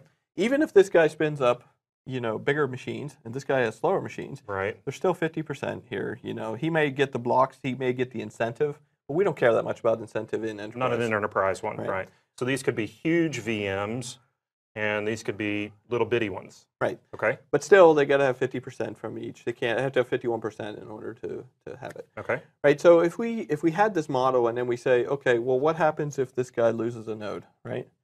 So what happens if this guy goes away and now he's down to two? Well, now the percentage has dropped, right? I don't know the calculation there, but this guy's going to be less than 50%. This guy's going to be greater than. And I did them backwards. you did them backwards, yeah. Sorry about that. That's So right. this guy's going to be greater than, and this guy's going to be less than. We're very excited about our Surface Hub. There we go. So essentially, it's lopsided now. Uh-huh. If this guy wanted to kind of He could subvert be the bad. system, yeah, he could be bad and take over the system. It's just something to kind of think about as you start laying these networks out. And mining's kind of um, hard to do in the enterprise right now because it doesn't fit the same model. Now, proof of stake and some of those algorithms that are coming out, and there's other algorithms that uh, companies are developing to change the consensus algorithm so we don't have to have the the mining aspect. Yeah, because essentially in an enterprise environment, this is a, a very uh, computationally unfruitful exercise. Uh, you're basically having these VMs run at 100% CPU uh, for 24 hours a day, so you've got a higher carbon footprint, you've got uh, a higher infrastructure cost, you've got you know whatever the case may be. If, if it's I/O bound, uh, that can be really expensive. So changing it over to a different type of mining algorithm in the enterprise space, like proof of stake and some of the other ones, could be very beneficial to an organization so that they don't have to have such you know, esoteric mathematical calculations going on behind the scenes. And we've been talking about proof of stake for a while, but just from a super high level, to just give you a sense for what that means, instead of having to compete through this mining operation, through this who know, finds game, the hash fastest? we basically in that model first. you have to escrow money up front. So Okay. everybody is given a certain amount of virtual tokens, let's call it, and each company can use those tokens to say, "I'll process that block." Okay. But obviously, there's a limited amount of those, so somebody can't just take over the whole network and say, "I'll process every block." Right, because when you create that Genesis block, you initially allocate X amount of, in this instance, Ether, Mhm. and it goes to the initial. So in a, in a proof of stake, just real briefly, in a proof of stake uh, al- uh, algorithm, you would assign X amount to one node, X amount to another node, and then they would have equilibrium. Right, and and then there's it gets more complex from there. You can imagine that once you use some of your ether, you have to wait so long and these kind of things. The gas and then Yeah. the. Tra- oh, yep, yep. Okay. So it's just a kind of a super high level of like what we're talking about there to kind of help this mining operation so that we don't have to do mining as much. And and these things are evolving. I mean, this is a very fast changing space. Um, so we're going to see even more come out, I'm sure, in the future. Yep. So hope you enjoyed this architectural drawing, and we'll talk to you soon. Thanks. Okay, in this demo we're going to talk through an actual real-world decentralized app, or DApp, and um, we have a fictitious uh, pizza company here, so we're going to show uh, three parties engaging in a transaction, um, and we'll actually show how that could be orchestrated with smart contracts in the Ethereum chain, and in this case we're actually using Strato as the backend, um, so we're going to be using uh, that as our blockchain, and then we'll be using Bloc at the middle tier, and then we'll have our DApp built on top of that. So in order to get up to speed with this, first thing we would need is obviously Strato uh, for our backend blockchain, and I have an instance running here already. We mentioned this earlier. I'll do it really quickly. Uh, essentially, you just click on the new block up here in the top left, click on there, type in Strato or blockchain. Either one will bring up a list of results here, and then we can click on uh, Strato Again, we have a description about what it does. We have all the documentation for Strato. So when you start working with it, and if you click on the Create button down here in the lower left corner, um, you can actually get an instance of it and start running with it. I have the instance already provisioned, so we're good to go there. Uh, and then on the Pizza app, uh, the DApp itself is up here in GitHub. Um, so you can come up here to this location. And that's BlockApps Pizza-Demo. So in here, um, you can download all the code, and they have nice kind of walkthroughs for different environments, uh, Vagrant or Azure or whatnot. So you can come up here, take a look at that stuff. This is where the bits are to get the thing running. Uh, and I have that running on this machine here, which also has a bloc instance on it. Okay, so let's uh, let's dive into the app here and see how this thing actually works. So if we pop open a browser here, and this is my endpoint on port 9000. Uh, right here is our Azure endpoint. And so, um, again, it's a bit of a contrived example, but it gets our point across. So we have three parties that are going to be working with this transaction. We have a buyer who's actually interested in, in purchasing a pizza.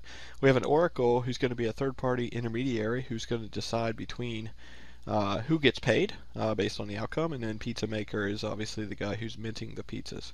So if we log in as the Pizza Maker, you'll see right now that he has a balance of 1,000 Ether. He's got a, some open and closed uh, offerings here right now. He actually has a pepperoni open here. Let's go ahead and create a new one and we'll make a sausage one. And we'll make that for 5 as well. So when we click on that, we're actually basically creating a contract. So you can see here, here's the contract address out on the blockchain. And um, here's the balance that's on there. There's nothing in there right now uh, because nobody's funded it. The price is 5 and uh, you know it's a sausage pizza. So if we log out of here and log in as the buyer, you can see we can see all the contracts as well, so we're just enumerating those. And you can see that we have a pepperoni and a sausage available. So I'll go ahead and pick the sausage one. Uh, and I'll say, yeah, I want to go ahead and fund this. So I want to buy this thing. So when I say I want to buy it, it's going to say, well, you need to sign that transaction. Remember, when we put any transaction on the blockchain, we're signing it. So we'll put in our password. And then that's it. So you can see up top here, if you looked really closely, uh, the buyer actually had his balance decremented by five. Now, the if we log in as the pizza maker right now, he, he didn't get paid right away. So the the contract balance is actually holding that five right now. So at this point, I do have the button here, but we're going to ignore that for a second. What would typically happen is a, a, a pizza delivery man or whatnot would come and deliver the pizza. Now, you know, you can imagine in the future maybe an IoT device that's tracking the location of where that pizza delivery guy is, that he actually dropped the pizza off. We could verify it that way. We could ask the end user once they receive the pizza to uh, enter something on their mobile phone or something of that re- nature, and so the Oracle could be automated in that fashion. But in this fashion, we're just we're going to act as the Oracle. We're going to act as a business logic. Um, so basically, we could come into uh, our sausage here that's been funded uh, you can see the buyer funded the pizza contract. The contract balance is five uh, because they basically uh, escrowed, you know, five of this virtual currency to buy this, um, and then we could rate the satisfaction delivery. Now, if I click happy um, that it's been delivered and the customer's happy, then the maker will get paid, the guy who actually sold the pizza. And if I click unhappy, uh, the buyer will get it. So let's just say he's happy. Um, and so the contract paid the pizza maker. And so if we go look at the pizza maker now, at his balance, you'll see that he has 1005 ether now because he got paid for that. So this is just a simple example showing how we can orchestrate a uh, triple entry accounting, um, showing that we people don't have direct control of that because you can imagine in a world where if someone just automatically gave the money directly to the guy who's selling something but he never delivered a product it would be hard to get that money back. And thinking about these things in the future if you think about you know larger retail stores or online stores that you buy things through you're actually going through that process too right? You're using your credit card and saying i want to pay for this. And uh, you know essentially there's some level of trust there that those people are not just going to run away with your money and not deliver the product or give you the right product. Uh, and, and so the larger companies always win there because they have a lot of uh, clout in the industry that that a reputation that they they're not going to rip you off. Uh, in this case, we can make it more real time. You know, as the product is actually delivered, um, we can actually like trigger it based on business logic, uh, like I mentioned, IoT devices or or something in that nature to actually trigger it to release the funds to the correct uh, parties. So I hope you get a sense of what a DApp actually looks like. You can look at the source code behind this. Um, very, it's out there on GitHub. You can play with it and actually modify it uh, for your uses as well. But it's a good way to kind of get started and understand how these dApps work. Okay, well, welcome back to the MVA on Microsoft Blockchain as a Service. We're going to continue on here in our agenda with the DevOps side of blockchains. And so I'm going to kind of walk through some of the key concepts that you need to consider around the DevOps type scenario when you start working with blockchain? How do you actually use these things in the real world as opposed to uh, just talking about the development and maybe the theory behind the scenes? We want to know how do we actually you know operationalize these things right. and run them in an enterprise. So one of the one of the core things is around how do we actually manage this type of technology. It's a totally different in some cases uh, than we're used to, right? We're used to versioning things. We're used to you know release management and deploying things in that model. Um, but we got to consider some special things about uh, these type of decentralized applications. We've kind of harped on it in a lot in uh, the earlier modules, but the this, the ability to be immutable, you know, these smart contracts is a key concept. Um, that has to be considered when we're doing code migrations and as we're deploying things up to the blockchain, as you can right. imagine. Uh, if the address changes for our blockchain or for our smart contract, we have to make sure our DApp is pointed. Yeah, they're hard the right linked. Yeah, yeah, they're hard linked in. Yeah. Um, the other thing to consider is that, and this comes up a lot when we start thinking about adding nodes, if we're going to like, uh, you know, maybe increase the scale of our network or maybe even decrease the scale, um, we need to think about uh, what's called the Genesis block. We haven't talked about this a whole lot yet, but when you start up one of these blockchains, one of the first things you have to do, or the first thing that you're going to have to do when you establish a blockchain is create a Genesis block. That Genesis block is going to contain the core, basically the root of your blockchain. And it's said that, you know, basically he who controls the Genesis block controls everything.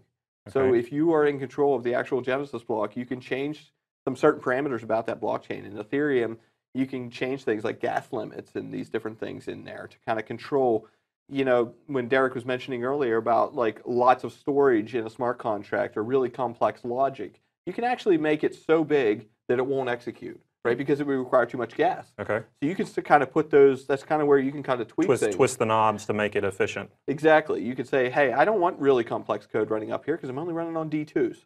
And that's the way I want it. I don't want people running you know, big things. And I don't want them storing lots of data up here, this kind of thing. You can kind of control that to some extent. Um, the Coinbase is what generates the first block, the first address when we're up there. And we can also have it generate the first accounts for us. Because obviously, when we start a blockchain, somebody has to own the first Something. one, you know, Yeah. that we get started. And then it's just going to basically spread out as we add more external accounts, as we were talking about Okay. um, and transfer that around. And, and when you think about Ether in the in the private sense, this isn't on the slide, but it's something to consider when you're doing your Genesis block. Is that you know in a private sense, Ether paying for gas and things doesn't matter as much as in the public space, right? We talked about mining and all those things. And typically, what we do is actually just give people, you know, we can move Ether around in a private network. So, in order for you to use gas, you could say, all my business partners get this much Ether right now. And if they want more, they can come over here to this faucet and get more. Right, but you can also use the, the gas limits in your uh, code uh, and on your blockchain to make sure that other development teams that might be injecting into the, the private chain are only able to consume X amount of resources Correct. before they have to come back. So it's a good throttling mechanism in a private blockchain. Totally, totally makes sense. It's something to consider when you start building these applications out. The keys used to sign the transactions on the blockchain are tied to unique actors, obviously. So when we generate those keys, they're either tied to a device, it could be an IoT device, it could be uh, a human uh, in many cases who are actually going to use the system, it could be a proxy. Um, we could do something on the server side and have it actually talking to the blockchain. Right. Um, in, in some cases, we we don't necessarily need to expose all of this technology down to the end user, right? They might just see a web application. People talk about DApps all the time and think that it's like some Star Trek thing, you know, that's out there where we're It talking sounds about. Star Trekky. Yeah. Yeah. but it's like you know, no, it could look just like the applications that you're familiar with today.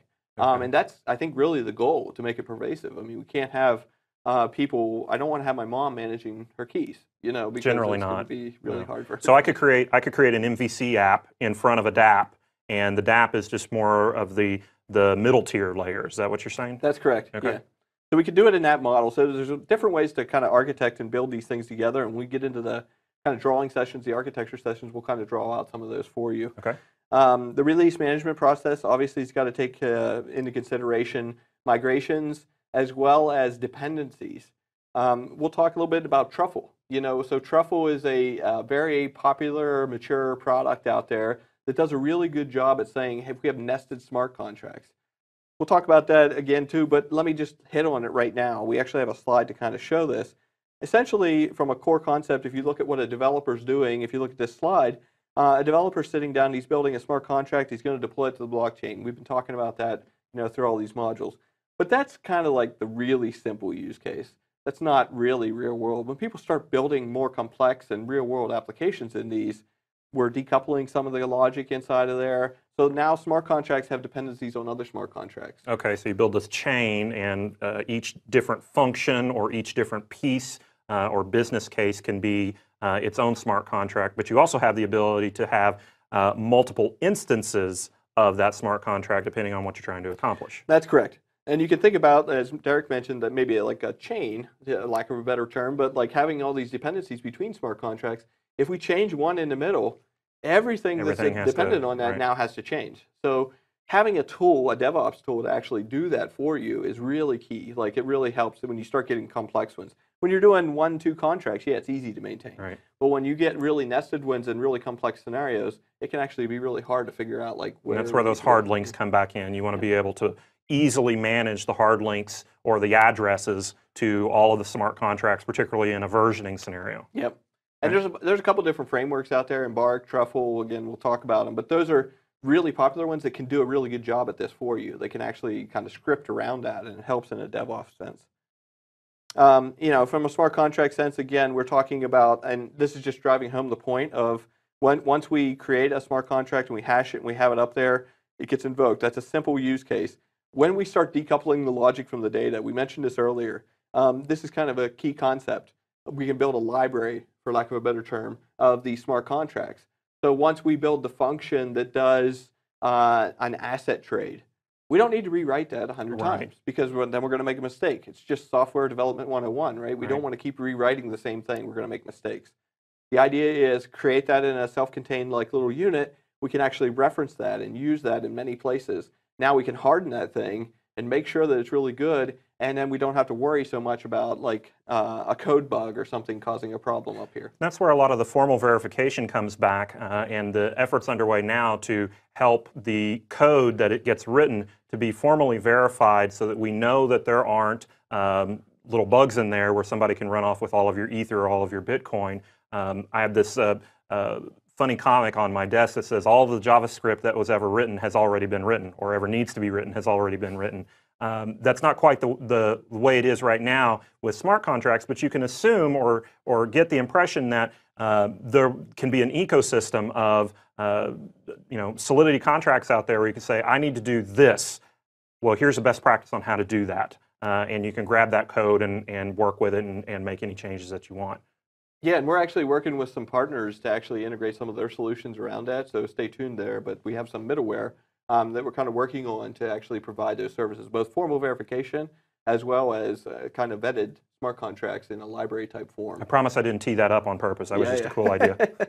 All right. So, and, and this was, I, I'd thrown a slide in here to talk about the Genesis block. We've kind of hit that over the head, but I just wanted to kind of come back and just touch base on that. From a Genesis perspective, again, it's the root of the blockchain. When you spin new nodes up, you always have to use that same Genesis block. As you spin a new node up, it has to have that same Genesis and block. and it then will can build. and it will download the entire chain That's and correct. and do all of its math goo to make sure that nothing has been corrupted or changed or malformed. And so, uh, if you've played with creating your own nodes, uh, like if you were to download Bitcoin, uh, it can take several hours to several days uh, to get from Genesis all the way up to the current state. Yeah, and that's a good point, Derek. I mean, this, this question comes up a lot where people say, well, this sounds great if I have a big computer, a really fast computer. Like Derek mentioned, I mean, it could take days, hours, days. What happens if it's my phone? Or a Raspberry Pi, or Yeah. yeah, something smaller. So the key concept to remember there is around clients. They have this concept of what's called a light client and a full client. So when you're talking about a full client, you're talking about what Derek was mentioning earlier, where we in- download the entire history, and that's really safe, right? Because Derek goes and downloads every block that's ever been in the blockchain. Like if you go fire up uh, any of the public, like Mist or any of those for Ethereum, when you fire that thing up, It it'll literally pull down everything there, that's ever yeah. happened in Ethereum history. And so people say, "Oh my God, that's so much data." you Right? know, Yeah, it takes forever. how can I use that? How can I use that on a phone? Well, the idea is remember, there's a Merkle tree behind this. There's a hash tree essentially behind all this.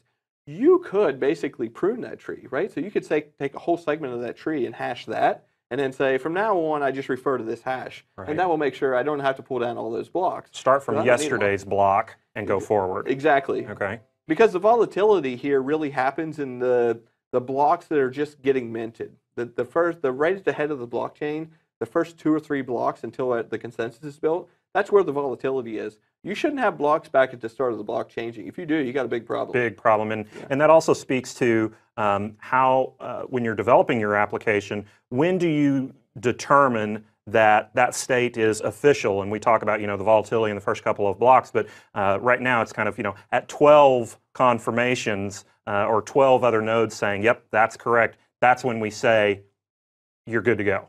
Yeah, and that's where the concept that Derek mentioned earlier about soft forks. So we have this concept of what's called forks, which essentially you can imagine all these nodes are running the transactions, right? So as the nodes are running them, they're in various states, right? Like Derek's little tree over there of his nodes, maybe they're like all of a sudden they start forking, and when I say forking, they're coming off the main branch. So they had we were all in sync, and then Derek started processing transactions, and I started tra- processing transactions. At some point, we should come together because we should match. Right. If we don't, that's when we have That's like a hard fork. Yeah. That- that's bad. So um, there's, the soft forks will happen all the time, and they should eventually collide back, and it shouldn't be too far back. That's what I'm saying, like two or three Right. blocks. Okay. What other things about the, the general mining do we need to, to know about? Yeah, the other thing I would mention there is the preloaded accounts that we talked about. Mm-hmm. Um, just making sure those things get loaded up there when you're starting up your Genesis block. Okay. But if we move on to some of the off-chain, I wanted to hit on a couple couple things here about off-chain because we had been talking about this a little bit around storage. Right. But I want to kind of drive that concept home because this is a really key consideration when you start building decentralized applications, and it really fits in DevOps because this is other infrastructure you got to that you got to manage. And yeah. from an IT uh, IT ops perspective, you got the developers writing their code, and taking into consideration on chain versus off chain, the IT infrastructure guys, which those guys are close to my heart, they have to maintain whether it be a DocDB or a SQL database or a Mongo or, or MySQL or whatever. So additional infrastructure is now coming into play beyond just the nodes that you might have in your private blockchain consortium. Yeah. So just to kind of talk about what, what are some of these off-chain components that we're talking, uh, the first one would be an Oracle. Um, and, and this term Oracle is used in the Ethereum space, and I have a diagram here to kind of show it. And essentially, we mentioned before, the blockchain can't make calls off, right? So it can't call off chain into a web service or anything. Let's take a typical model where maybe we do need to get some external data. It's a trading application, and we need to get some external data to feed into our smart contract. So the smart contract is going to do all its work and, as normal. Uh, it'll be all transaction based. We have all the history. Everything's great there. But we need some external data at, let's say, a scheduled interval, maybe every Okay. day. So what we do in that case is we have what's called an Oracle service that sits off chain. Now this thing essentially is just another client that's calling into the blockchain. So he's just going to call into the smart contract and make transactions. He might update the state. So we're storing the state of whatever this uh, this rate is that's Mhm. being updated in the external world. So we could store that as state in the smart contract and have the Oracle just call in there periodically and update that thing. Well, the downside to that obviously is we got to trust that Oracle. Um, what happens if somebody hacks the Oracle and starts injecting bad rates into our system? Mhm. Um, the smart contract's not going to know. He's just going to take the rate at, at face value and use it. So you're saying that I can't call a web service like the Bing APIs to get a stock price, but you are saying that I can have this Oracle. What's the difference between calling off to a web service as opposed to calling off to an Oracle? You're not calling off. Okay, so that's the key thing. When we never have the blockchain call off, we're actually going backwards. We're going back in. So we have a scheduling mechanism that's running on the outside here that says every day at 2 p.m., call this smart contract and update this state with whatever this value is. And we can put logic out there to do Okay. whatever we need to there, right? So it works really well, and there's services actually built around this. Oraclize is one of the big ones out there, the partners, and they have a whole system that basically allows it to look like it's actually calling off chain, but actually what it's doing is making callbacks into the blockchain. But at the end of the day, an Oracle is still just a node on the network, and it's talking to the chain itself. Yep. Uh, it's not going a, a web. It's not using SOAP. It's not doing all of those things that I wanted to do Yep. uh, previously. Okay. One thing to consider from a DevOps to pull this back into the DevOps space, because we're talking a little Devy here, but like from a DevOps sense, what do they need to consider? Well, we got now this external service that's going to make calls into there. Well, that thing's going to have key pairs, obviously, right? Because in order to do a transaction, it has to have a key pair. That key pair can actually be in the smart contract. So we can set up functions that basically, like a getter and a setter, let's say. Let's say a setter, just for our use case that we were talking about before. We can inject values into a smart contract. We wouldn't just write directly to the state. We call a set function. Okay. In that set function, we can actually put a function modifier. It's called in Solidity, and actually say this can only be called by this Oracle. Oh, okay. So, that way we can kind of lock it down a little Yeah. bit. Okay. And and the DevOps guys kind of have to be, you know, obviously in sync with this because if they change something out there in an external service, the keys don't match, broken. you right. know. Okay. So that's an Oracle. You got anything else? Yeah, from a sense of like looking beyond oracles, this is where Microsoft has been focused a lot of effort. And if you look out on our GitHub, uh, Marley Gray's been working a lot on this technology called cryptlets. And if you think about cryptlets, there's a lot of different things that these cryptlets can do, but this is really an innovation point that we're trying to bring some of our kind of expertise in this space um, to, to fill this void. So we looked at one particular use case of the oracles to say, how could we make that situation better?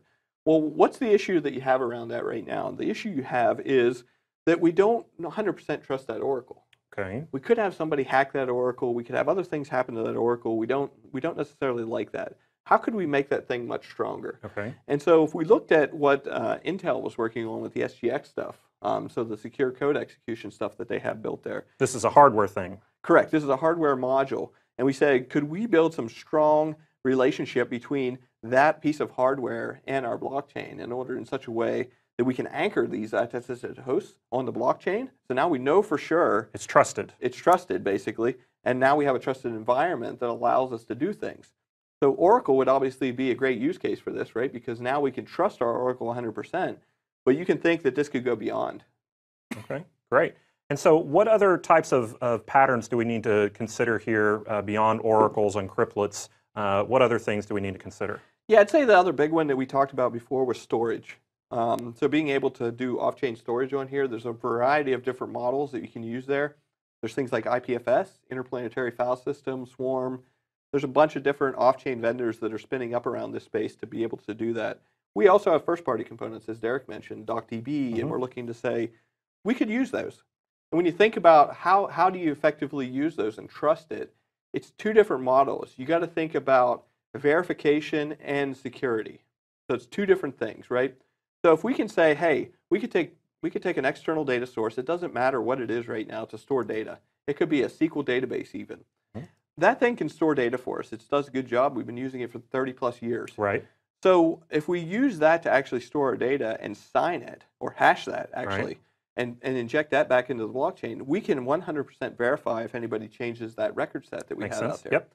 So we haven't provided any security with that model. We've just been able to verify it. Right. If somebody wants to go tamper with the data, there's nothing to stop them from doing that. They could go in that SQL database and tamper it, but it won't match up to what's on the blockchain. And we can point back to that point in time and say this is when it This changed. is when it happened. now, if you take that will love that. if you take that a step further and say, well, we want to do that plus we want security, we can encrypt it.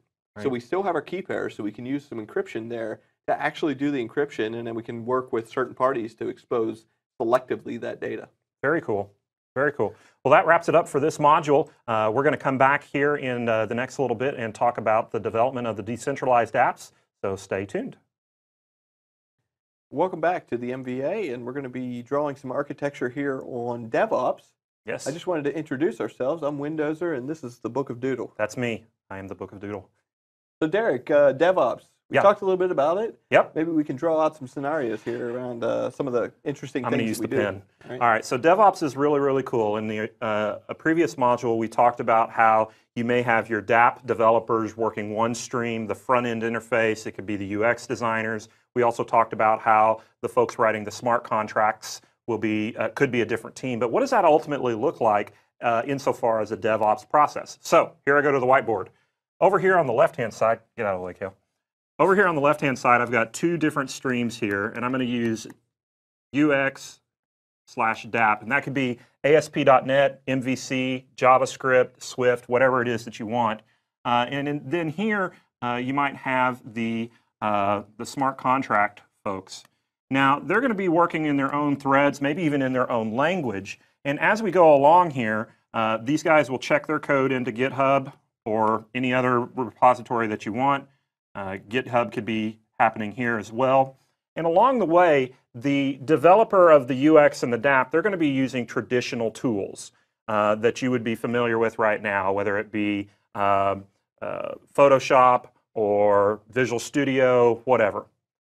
The smart contract developers, again, we talked about all the different frameworks and tools that you might have available to us. Uh, these guys are going to be set up a little bit differently. Cale, give me a couple of, of examples here of some things that we might have on the local person's PC.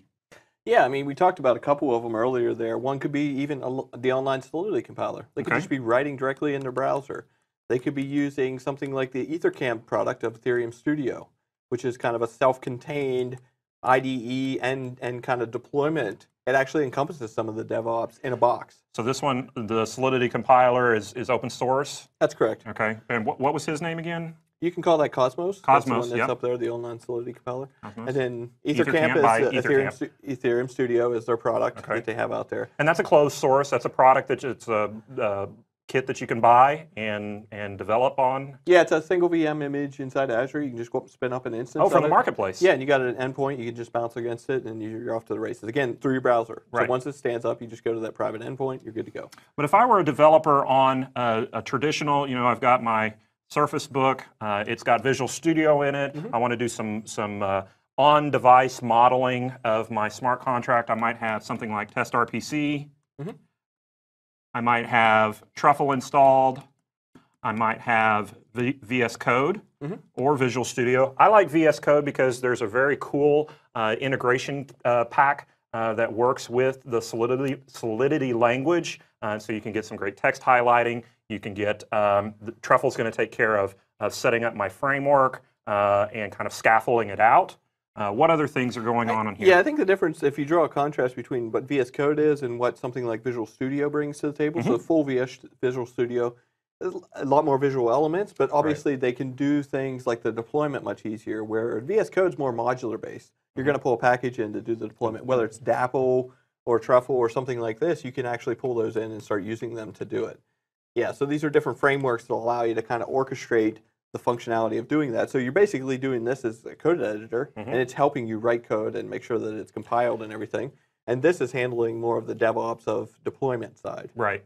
And when I was getting started on this, I had uh, Test RPC up and going. It was helpful. I, I opened this up in Chrome, um, but there were some other things that I needed going on down here. Um, I was able to do a lot of it in PowerShell, uh, but uh, dropping down into the command line, uh, you're going to need to do some of those things. Uh, what other types of kit would you need on uh, a smart contract developer's uh, box? Is this Well, I really mean, about ano- it? Another big one. So this is really focused around core Ethereum that we Mhm. mentioned earlier. We also have Strato, remember, with That's block right. apps. So one of the cool things that those guys have done is actually stood up a dev box that's running in the public space.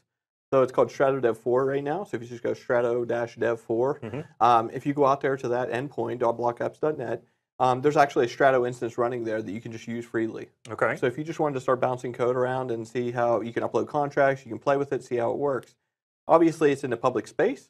So if you're concerned about your IP and things like that, you want to keep it safe, then you would spin up your own instance of Strato. Okay. So once I have my code, that's going to take place. And again, I'm, I'm focusing on the smart contract guy. I'm going to have some .sol files. Yeah.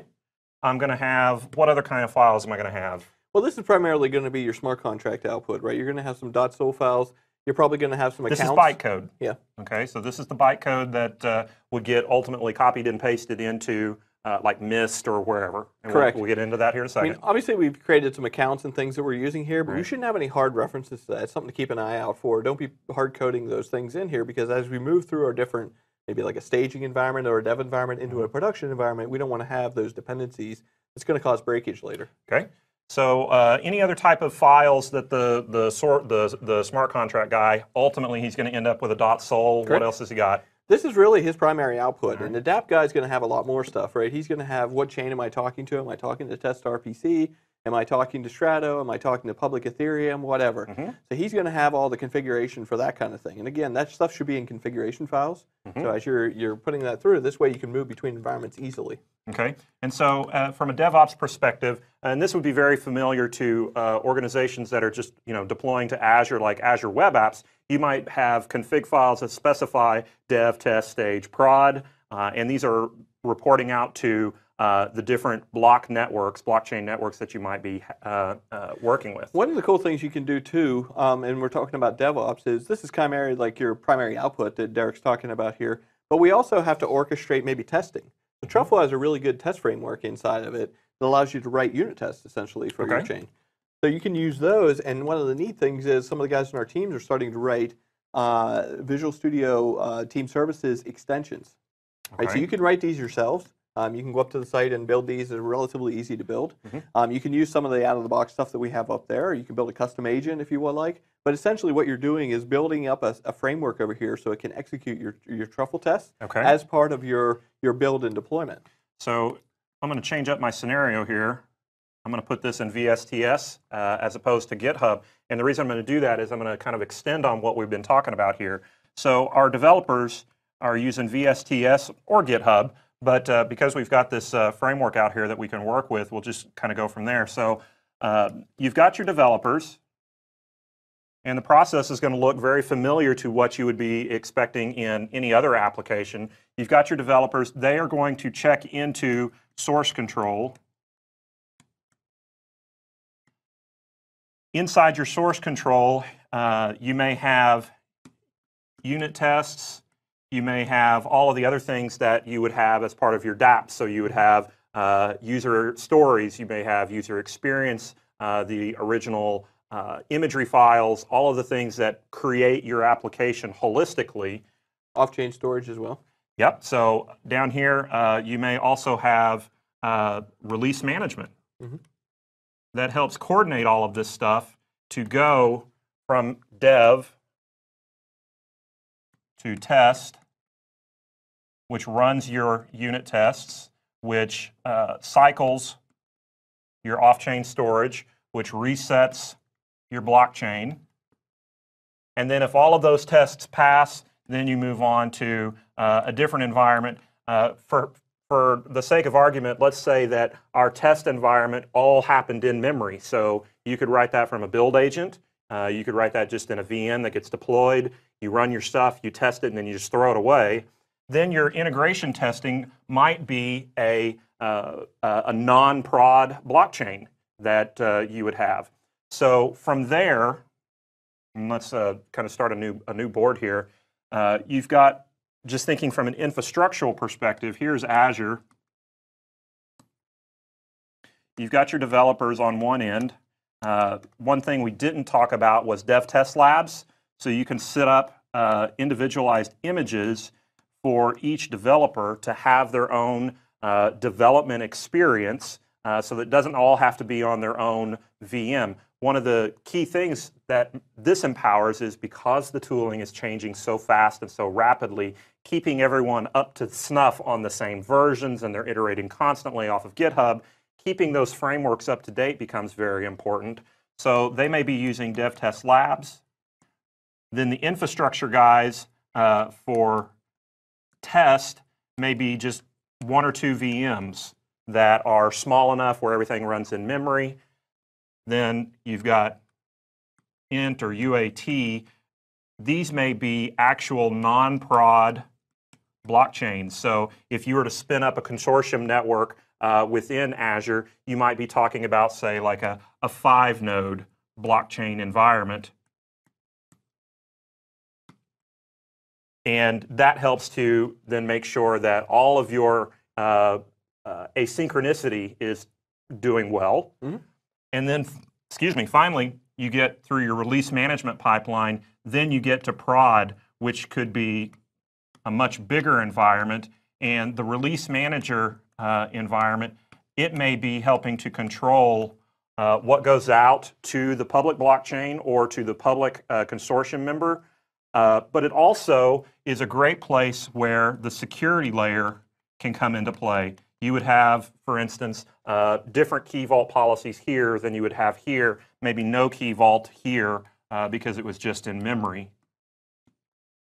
And so, as you can see, it looks very similar to what a DevOps workflow would look like from a traditional application development standpoint, but there are some things that you want to take into consideration as you're developing these two different major threads. Again, the UX versus the smart contract. And that's no different than you would have different tiers of, of things happening uh, in a, a traditional uh, application development uh, experience. This could be the mobile guy and this could be the web guy. Um, but it's important to note that Azure is going to provide you with a lot of great tooling.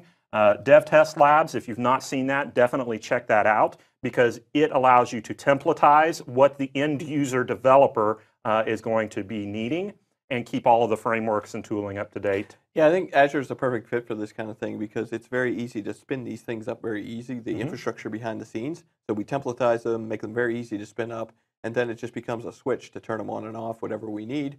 Uh, and then production obviously is a much more vetted. Yeah, it was a great system. use case story uh, about that because uh, I spun up one. It was like a 50 node cluster just to see what I could do with it, uh, and it was in multiple different regions. And I spun it up, and it worked great. then I started powering down different regions to see how I could in- inject forks and soft forks so that I could tell how is my code going to behave in the real world.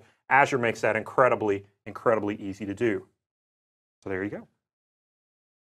Welcome back to our MVA, where we're talking about blockchain. On this module, Cale is going to introduce us to a quick little walkthrough of how Truffle works. So we'll turn it over to Cale.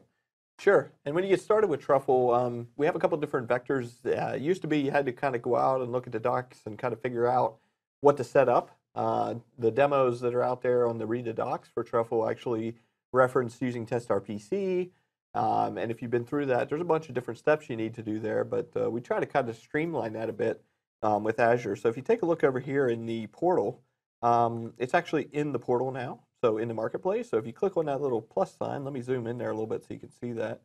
Um, this little plus sign up here in the corner to create a new asset inside Azure.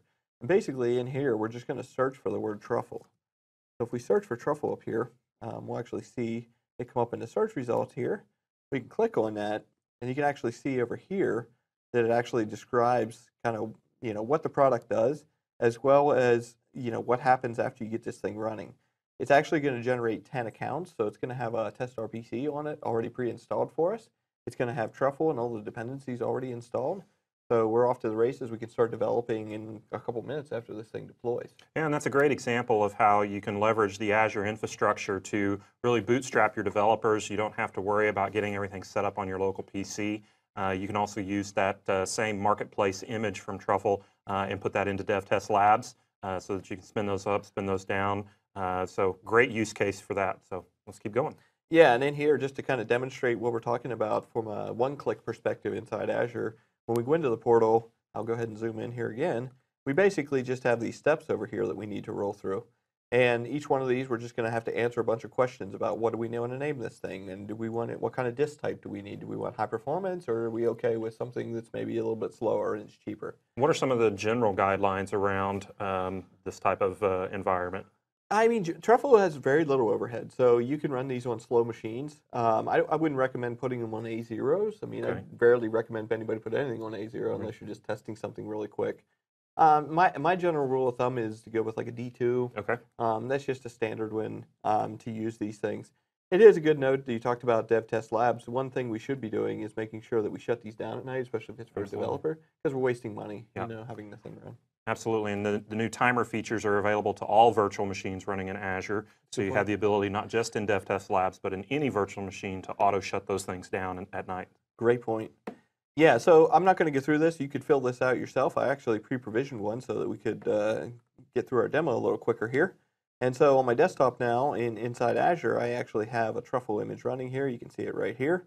Um, this is running Ubuntu 16.04 and um, it's got everything installed. So if I pop up and I have an SSH console here directly in this box, already logged in, and simply if I just want to start running a demo with uh, Truffle, I can just start up test RPC. Now what's happening behind the scenes here, as we mentioned earlier, is if you look at, I have the font exposed here so you can see it a little bit bigger, but basically we have 10 accounts here that got created automatically for us. We talked about the Genesis block. You can think of that like this one. So this is running in memory but it actually just generated 10 accounts for us automatically. And did it populate it with uh, with Ether and everything? Yeah, the first one has some Ether in it, but the other ones don't. Okay. And that's what we'll kind of demo in this uh, deck just to kind of show that you can transfer Ether from one to one another. Remember that And are they already unlocked, or do we have to go through the whole process of unlocking them and everything? Yeah, and test RPCs are unlocked okay. um, because it doesn't function the same as right. pure Ethereum. But yeah, you could run the same demo pointed at Ethereum, but obviously you'd have to unlock the accounts if you want to start moving, okay. you know, doing transactions with them. Great. Um, so basically, we have to leave this run. So if you look at the bottom of this thing, it actually shows you these are the mnemonics that it used to create that. This is like a recovery key, um, as we mentioned before. So these are using the Ethereum wallet in order to build those. And you can see it's listening on 8545 right now. So if we come over to Truffle, um, and I'm just bringing up another SSH into the same box, and all I need to do to start working with this is I just make a directory, and we'll just call this the MVA demo. And then we'll go into that directory and then we'll run truffle init. Very much like anything in uh, Node.js, um, we do a lot of inits. Uh, truffle's built heavily on Node, um, so you see a lot of creates a scaffolding for us. Yeah, so if we take a look out here, what actually got created, we actually created an app folder. That's where our app code's going to go for our test application here. Just scaffolded out a simple uh, HTML and JavaScript application for us. Uh, the contracts are where the smart contracts are. Uh, the migrations has the scripts that enable us to do the auto migration features that Truffle has for DevOps. The test is the unit test for these contracts, and then Truffle.js is kind of important. This is the um, main configuration for Truffle. So if we take a look at that real quick. Kind of describes the application as a whole. Yeah, you can see that um, when it does a build, which is the entry point for the application, the index. It also has where the CSS and the app.js and the images folder. So just describing the application. And then from an RPC perspective, this is where it's going to talk to a blockchain. So okay. you can think of this as JSON RPC. So right now it's pointed to local hosts, and actually if you're running this in Azure, you don't want that. So what you want is to be able to put your endpoint in here, um, whatever the name of your, or the IP address of your machine is. So how do you find that? You come back over to the Azure portal, click on your machine that you spun up, and it's right here. Um, you can get your public IP, and you can get a DNS name if you have one set up for it. So I'm just going to grab the public IP here. We don't have any dependency on naming here. We got this cool little thing in here where you can just hover over it and grab it quickly. pop that guy in there. So now we're we're pointing to ourselves because if we pointed to, um, you know, localhost and this thing's running in Azure, obviously it can't resolve, so it's not going to know what to do with it. So once we have that all fixed up, now we can actually get started with our, our truffle. Now let's take a look at the contracts. You can see there's um, a few of them in here. So we have this ConvertLib, we have Metacoin, and we have this migrations. The migrations, and you can look at these in your leisure, but the migrations is basically a contract to keep track of when we're doing migrations, which addresses point to which smart contract. Just allows us to do that DevOps type operation to be able to detect when one changes, which ones we need to deploy. Okay. Dependency graph kind of. Yep. Absolutely. Uh, Metacoin is is the core of what we're building here. So we're going to build this token system, and that's what you're going to see here demonstrated in a second. And ConvertLib has a dependency on that. Okay. So we're going to see that actually play out. So if we just did uh, a truffle compile, it's going to basically look for any sol files um, and compile them for us. So this is going to use the standard SolC compiler. It's going to go out and compile them. Now, one thing to keep in mind is it doesn't matter what order they are when they're being compiled because it's not going to go try to execute anything, right? So it's just going to strictly do a static compile to make sure these things are actually syntactically correct. Okay. So you're not looking at logical errors. You're just compiling it into bytecode, and then you're done.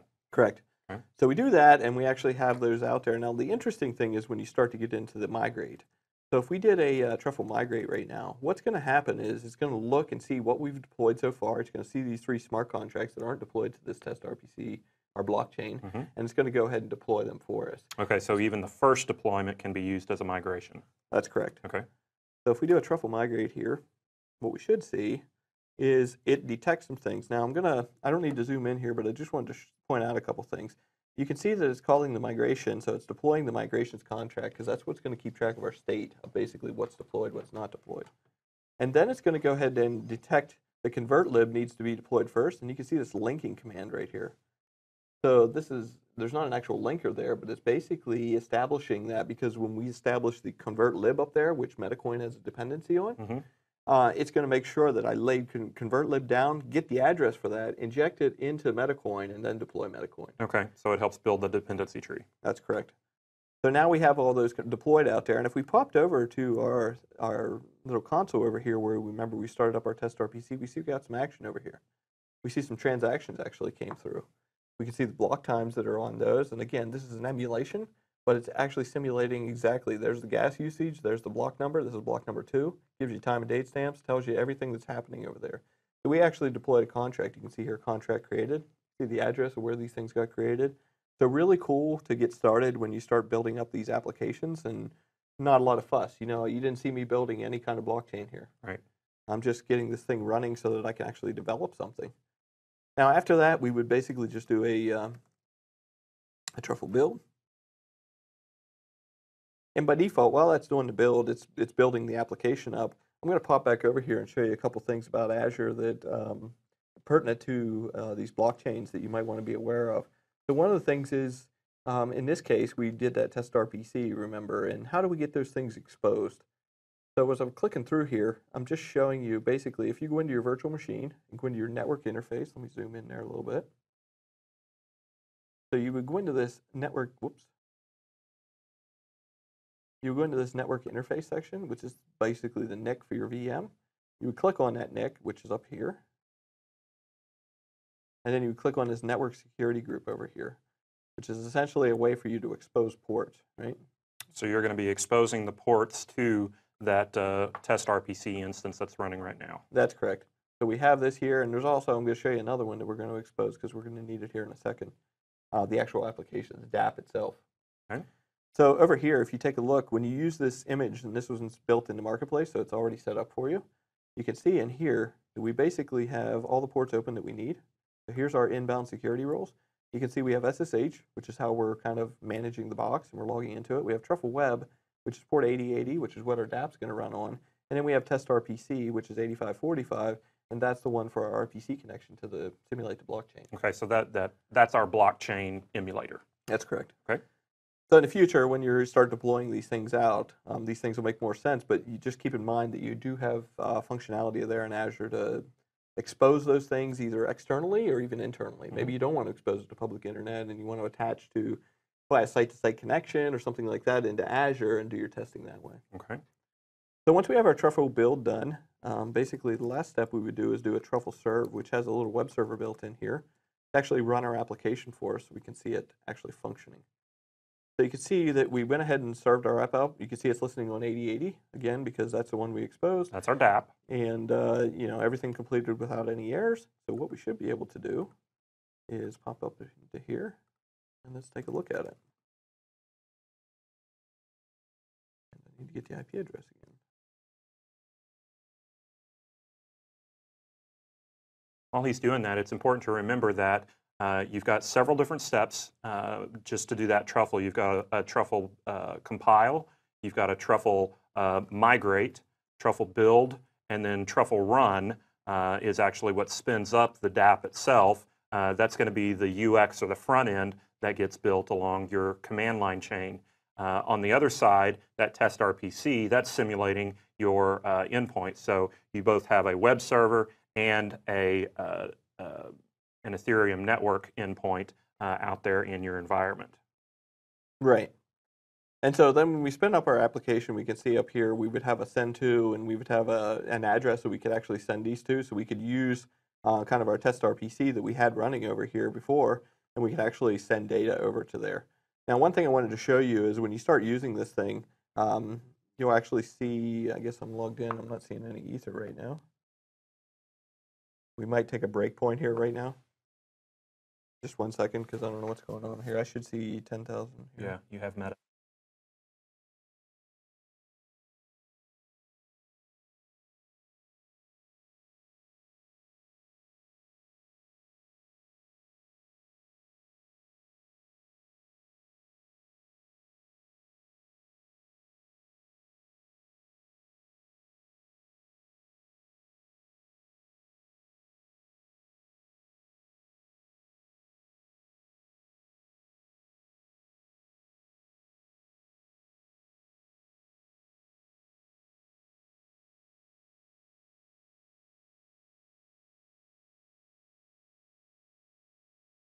Okay, so we're back over here, and you can see now that when we start the application up and we go to port 8080, let me zoom in there and show you that we're just going to the IP address of what's provisioned up there in Azure, and we're going to port 8080 for our DApp. Um, we actually see that we have uh, 10,000 meta coins here now, Yes. which is a token Right. system basically. Lots of money. Here. Yeah. So um, what this is doing behind the scenes, and I'll show you the code here in a second, is it's actually just reading what accounts exist on this blockchain, our test RPC, and which um, so we're reading count zero basically. Remember we had 10 accounts? Mhm. So we're reading the first account that's in there that got minted with this meta coin. Right. Now if we went and looked at any of the other ones, they don't have any meta right now, and I'll show you that in a second too. But what we want to do is basically give them some. Let's So give we- them some Meta. Yeah, we want to give some of those. So let's say we're going to give 10 meta to one of the other accounts. Okay. Now how do we know the accounts? We got to come back over here and look at our test RPC, and we'll just grab one. So let's grab the second guy, this guy. We just grab his address, we bring it over here, pop it in. What we should see in a second here, and you see it, uh, let me see if I can zoom in so you, maybe you can see it better, is you can see that our meta dropped because we actually executed our smart contract. Mhm. And you see it was instant because basically we're running Yeah, a test RPC. Test RPC, one node, nothing to synchronize. Cool. Yeah, so what happened was we, we took those 10 meta, we transferred it to a different account. Now, how do we see that that actually succeeded? We actually saw the, the debit happen here, Mhm. right? Now let's see it on the other side. Yeah, correct. Let's see the other side. So how do we do that? Well, let's pop into our truffle node here again. Remember, it was running our web server. And I can tell you that it's in the uh, app itself. And if you look in the JavaScripts folder, and this is just a simple example, but it's something that you can use to start working off of. Um, if you pop open the app.js, which is kind of the core code, whoops. It's kind of the core functionality for the application. And if you scroll down to the bottom of this, it's just a bunch of JavaScript code, and it's using Web3.js to actually talk to it. And you can see down here, when the app starts up, it's just going to go read account zero. Okay. And that's what it's going to display on the screen. So instead of reading account zero, let's display account one, which is the second account actually in the system. So we'll just pop that open with VI, change that, go back over here and run our truffle. Migrate. We don't have to migrate anything. Remember, No. we didn't change any smart contracts. Oh, you just changed the JavaScript Correct. and then Our you just, DApp. or your DApp. So you just relaunch that uh, Truffle uh, web uh, web server. Correct. and it should have 10. And there you go. Awesome. So if you look at the screen now, you can see we're logged into the second account and we actually have 10 meta. So proving that it actually functioned and actually transferred the value the correct way. This is a very simple example, but it's just showing you some of the power of what happens with Truffle. We could actually walk through and change things in the smart contract and you can actually see it go through, but I recommend you guys check it out and take a look at it. It's very easy to get started with. That sounds great. So thanks for watching our little demo. We'll see you next time. Thanks. Welcome back to the MVA on Microsoft Blockchain as a Service.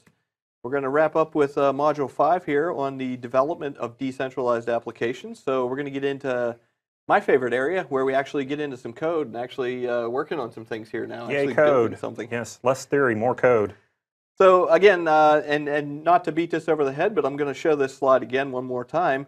Uh, we talked about this uh, in a previous one, but basically what I want to talk about here is understanding a development, uh, a developer's, a day in the life of a developer of a decentralized app. Okay. So when he comes in to actually build an app, there's nothing special about the actual application itself. It's just right? code. It's just code, right? So it could be a web application, it could be a client application, Right. uh, like a fat client. It could be uh, anything that we built our application platforms on to begin with. It could even be a, uh UWP application, you know, in Windows. Mhm. So we can think about from that perspective, it's just an application. Once we start talking about the back end and where we want to actually concentrate, and we talked about a lot of concepts about, you know, thinking about storage and what we need to store in the blockchain versus what we want to keep off chain. Uh, once we kind of figure out, okay, these are the core Got the things. that are architecture. important. Yeah, Yeah. the architecture around what's important, what do we really need to store on a blockchain, that we need that immutability, that we need that shared aspect of it, and Mhm. those kind of pieces. Once we, we determine what that is, then we can sit down and start building that. And I actually see this functioning as like two different developers, but it could be one. And I've actually seen this play out in actual hackathons in the real life that we would sit down to build a DApp. Well, somebody has to build the actual smart contract, and then somebody has to build the DApp. And there's a lot of work to do on both sides. So we basically divide and conquer, and we would have a group of people just building the, the smart contract. And they would exercise it through debugging tools. We'll talk about some of those. And then the developers over here working on the actual front end. Okay. lack of a better term. Okay. So in this instance, you separated what we were pre- previously talking about DApp as the whole thing. Yep. You're separating out that it could be an ASP.NET, MVC, a UWP app that those guys are working on, and then behind the scenes working on, and, and I call it the middle tier, but it's not necessarily the middle tier. It could also be the third tier. Yep. Um, those guys are the ones that are writing the smart contracts, and there's specialized tooling that is available uh, that uh, you're going to talk about hopefully. Yeah, and it's important to keep in mind that these tools can work together, right? So it's not that everybody has to use the same tool, right? So the people writing the smart contracts could be using Ethereum Studio, and the people who are writing the front end could be using Strato BlockApps. I mean, these things work together basically because the smart contract is portable code. Okay, so The the smart, file, the, yeah. the sol file, that solidity, that is the common denominator across all of this stuff. That's correct. The only thing you have to keep in mind there is public versus private. There is some, you know, differences between those, but there still is carryover, right? We could develop something and then test it and put it up in testnet, make sure that everything works, and put it in the public network. Okay, Or we could develop it just for private network, whatnot. So but it's also important to remember that the code that you write, again, back, going back to module one, is the epitome of open source. Is you put it out on the public net, anybody can decompile it and look at what you've done. correct. Okay. And in a private sense, obviously there's some shared trust there. Sure. So I'm working with Derek in a B2B scenario. Yeah, he can see my code, but we've already kind of negotiated on it. So in that case, maybe it's okay. Okay. Uh, because we're not sharing it with the world. I'm just sharing it with my business partner. So what kind of frameworks do we have to help kickstart this stuff? Yeah, so I look at this as like a, there's basically three different kind of buckets that I'll fit these things into when you start working for this as a developer. The first one being the frameworks. So we mentioned some of these guys as in passing here, but Truffle being a good one for a dev platform.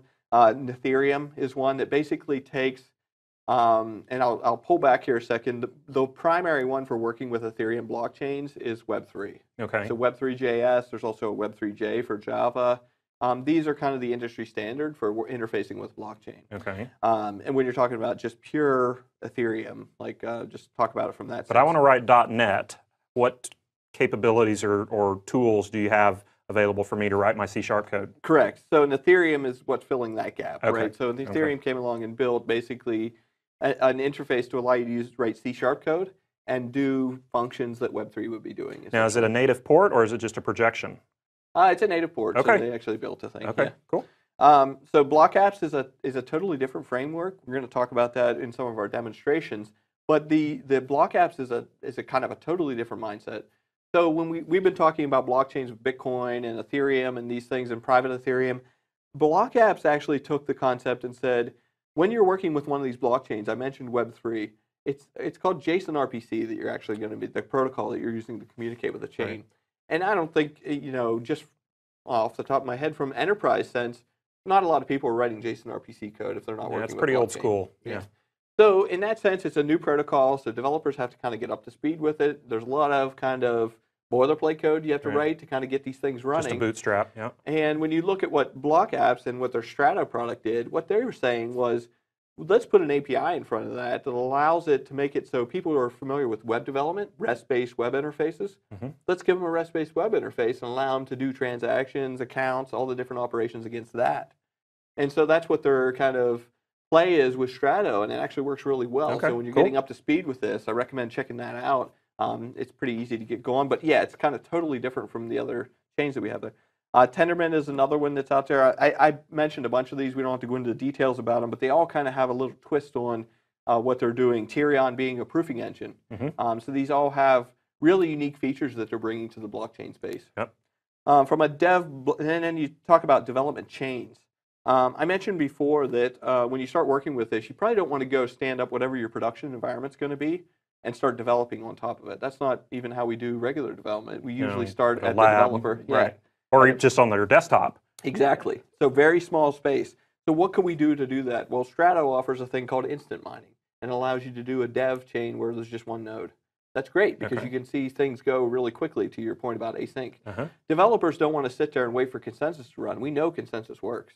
We know the algorithm works. Right. All we want to do is just test our smart contract and make sure everything Right. works. So that's one way to do it. Uh, Chain has a really nice interface to allow you to start building on top of their platform in that way. BigChainDB is uh, is a different animal. Um, so that's a different product that basically emulates some of the functionality that a blockchain gives you.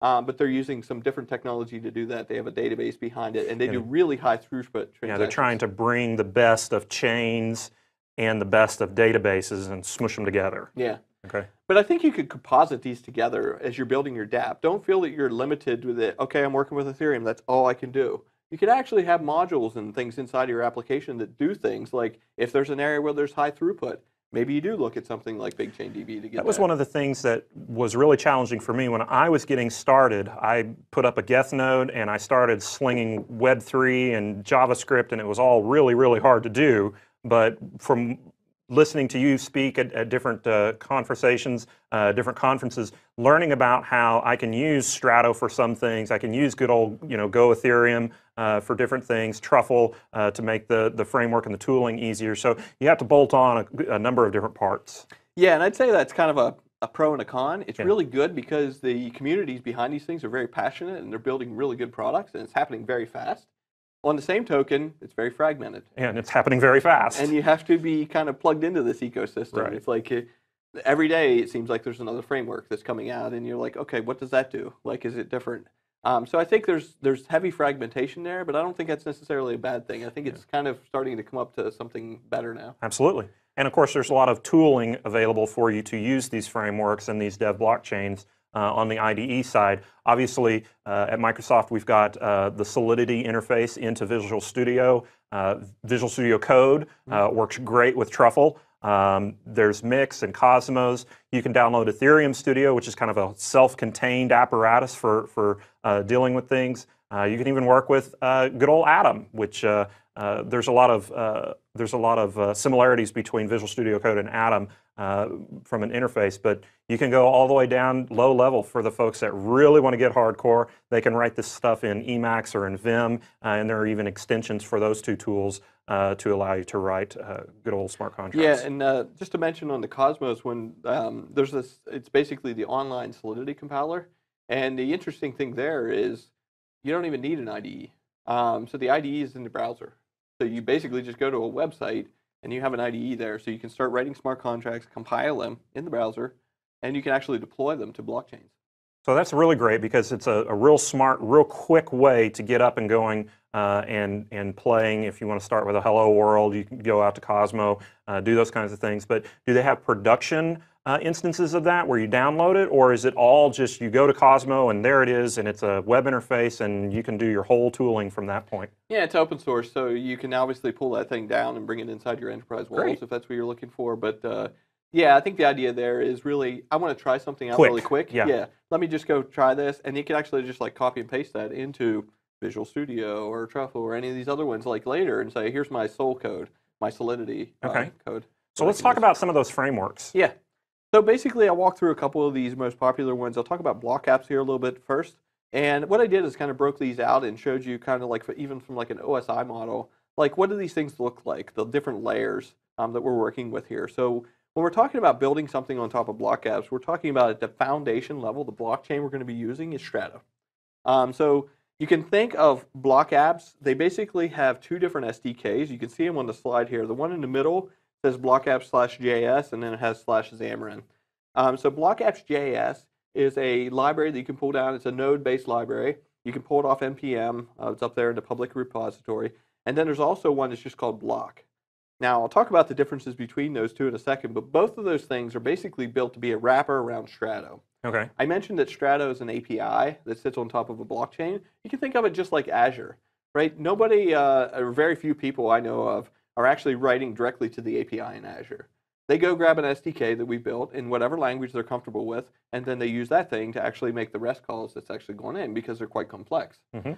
Uh, same thing here. So you can actually interface directly with Strato if you wanted to from your application, or you can start laying these other things on there, and it builds more rapid development environment. So it allows you to build faster. And that's nice because BlockApps, not only do they have the SDK, they also have the underlying chain structure itself. Correct. And so that's not Ethereum running down there. That's not Bitcoin running on it. It's its own thing. Correct. And so they've got, it's kind of a first party integration story that they've built on that. Yeah. And what I'm showing here, so we have the SDK there with BlockApps.js. Now, Bloc has a dependency on BlockApps.js. Um, so Bloc, you can think of it as like a CLI, but it can even be beyond that. I see a lot of people actually building on top of it. So it's a very, if you think about the REST API to Strato level being complex, this is a very kind of, think about it as a dumbed down version. Mm-hmm. I want to create an account. I want to upload a contract. I want to execute a transaction. I mean, just the core things that you want to do. Basic stuff. yeah. Very simple API. This is what Bloc gives you. If you want to go a step down and say, no, I want to talk directly to BlockApps.js and do maybe a couple more advanced things, you can totally do that. Okay. Bloc just makes it easier, you know. So I put Bloc up there at the top. You can have your DApp actually point to Bloc, which will call, call down and through into Strato, or you can have your decentralized app talk to BlockApps.js directly. Slightly more code, a little Right. bit more complex, but you can get a couple more features if you do it that Right. way. It's a little. Yeah. The trade-off is it's it's a little more verbose, a little more complex, but you're going to get the additional features that that SDK provides on top of it. That's correct. Yep. Um, another one, and we'll move on here to uh, Truffle.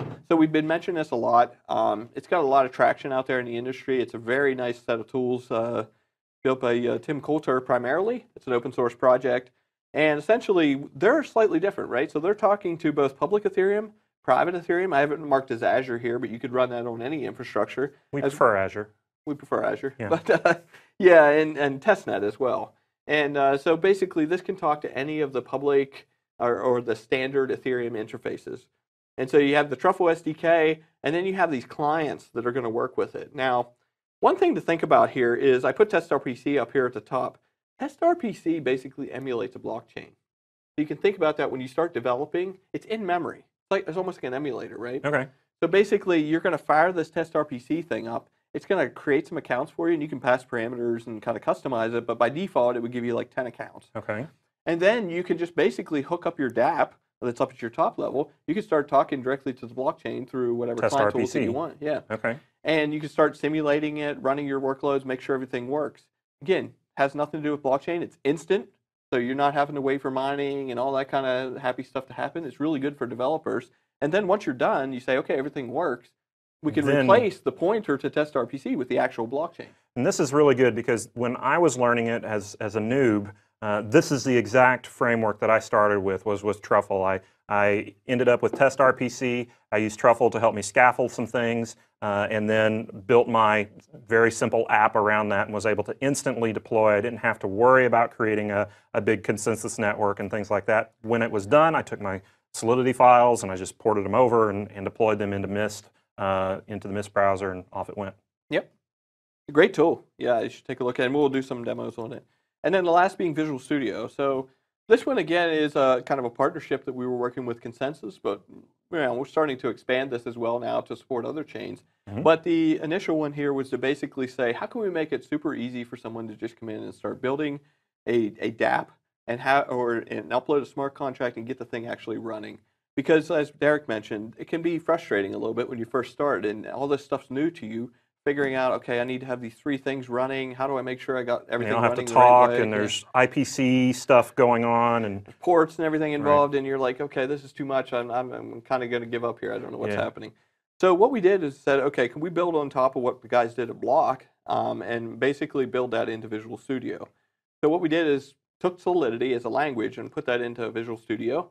So now you have an authoring environment where it has, you know, text highlighting and spacing and all that kind of normal stuff that you'd expect in an IDE.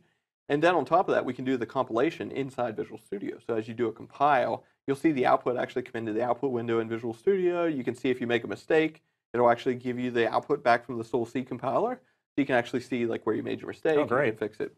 okay. And then you can basically, by default, without even touching anything, you just right click on that, that contract and deploy it to Azure. okay. Um, so that's really cool because you didn't have to do any infrastructure. So me as a developer, maybe I come in there and I say "Uh, that blockchain stuff's really cool, but I don't even want to think about it. I'm about just a JavaScript developer. Yeah, I'm just a, I'm just a JS guy. Yeah. so just give me a blockchain that I can hit like test RPC or Mhm. something of that nature. Mhm. Um, and so what we did was said, okay, well we already have an instance running out there, like a dev instance that we can use publicly. Um, we can just point to that, and then if you want to move it to a private instance, spin up your own Strato instance in Azure and just change the pointer in your config file. Fantastic. Love it. So that kind of wraps the module on uh, you know actually building and uh, development of these DApp, DApps. We're going to talk about some of that in the architecture and development, uh, and we'll show some de- some demos on this as well. We like demos. All right. We'll see you guys later. Thanks. Welcome back to our architectural design sessions. Uh, we haven't touched very much about identity in developing our dApps, so we're going to dive into smart contracts and how dApps work. So to get started, I'm going to throw it over to my wingman. Thanks, Maverick. All right, so we'll get started here. One of the things to think about with identity, the identity solutions are going to be, as you can imagine, slightly different when we talk about decentralized applications and identities. Why is it important? Let's start there. Yeah, let's talk about that. So, what what are the biggest kind of identity systems in the world, and what are kind of the dangers around them right now? We're essentially building centralized systems all over the place. Right. yeah, Whether it be um a sovereign identity like your social security card Correct. or a virtual identity like Active Directory. Correct. Or even something like you know your Facebook account and these kind of things out there. So these things are centralized repositories of names. Right. What happens out there in the world when hackers get involved? They want to target those centralized resources. Right. They're going to get my username, my possibly my password, uh, and be able to do identity theft and those kinds of things. So Sure. Same thing happens in the database world. If we think about a database, when we have a centralized database, that's where people are going to attack, as opposed to if we spread it out in a decentralized manner and have a consensus algorithm, uh, less of a chance for them being able to attack all those nodes at one time. okay. That's kind of the, the lead up to it. And really, what we're thinking about here is if we had a decentralized identity, how could that, how could that function for us? So if we took an identity for, and I'll use users, but again, these could be objects, Devices, you mentioned right. before, doesn't matter, but we use users because it's easy to kind of comprehend. So essentially, we have a blockchain over here. Um, we'll draw our little blockchain again. And this guy basically is going to be an anchor point for us. We mentioned anchors before. And really what that's about is saying, okay, I got a key pair over here, right? I got the private key, and I'm going to store some anchor up here on the blockchain about me. So I have an address up here now, an identifier. hmm That's one, two, three, four, right? So this is Cale that's out there right And that's now. a public key. public key. My address out in the blockchain. Remember that when we put something on the blockchain wi- with our key pairs, when we Mhm. create an account contract, it's actually derived from there. So that's gets So in it from. addition to the address and the public key, this could also be to keep things small out on the blockchain. It could be a URI Mhm. to something else, like a profile. Correct. And if you look at some of the guys who are working in this space, Blockstack is one of the big ones that we've been working with. Hey, Blockstack. And Blockstack is really essentially a naming service. Okay. So you can imagine that just like IP addresses, addresses in the blockchain are kind of hard to comprehend. Yeah, right? this means nothing even here on the whiteboard. it's a really long, you know, string of numbers, and you say, okay, that I, that's Derek. That's Cale. I Oh, don't understand what okay. that means, you know. So wait, basically, we can use their service to tie this to what Derek's talking about, this URI. And this is this is off chain. Now we can have either Cale or Derek.id. So now we basically can call in to a service over here running on Blockstack, which basically can do these lookups for us Okay. and can tell us where this guy is over here, right? That's pretty cool. It does a nice lookup service for us and allows us to do name registration. Okay. Now they're based uh, specifically on Bitcoin right now. Yep. This is Bitcoin. There's something similar for Ethereum. Uh, uh, there's nothing uh, to Ethereum right now. There's a thing called ENS Okay. that's being built. It's called Ethereum Name Service. So that's more like DNS. Yeah. Okay. So finding your contract, Ethereum name service, finding a person or possibly a different type of URL, Mhm. that would be something beneficial for Blockstack. Okay. Right. But we see this as a growing market, and there's a lot of people looking at this. Why? you know. Other than decentralizing the identity, what are some of the other benefits that, that someone might have by holding on to a private key and federating themselves out here into the block wor- Blockstack world? Well, this kind of is like, a, if you think about this as like a foundational element to an identity system. So in this case, what are we getting out of this? If we use this whole stack that we've been talking about here, we get an easy to remember ID over here, Right. and we can now start to use that in other systems. So if we talked about what what's this actually function for us? If we had two people here, right? So we got a person here and we have a person here, You draw strange stick figures. right? Yeah. These guys are happy. Good. This guy's kind of smirking a little bit, but Missing his eyes.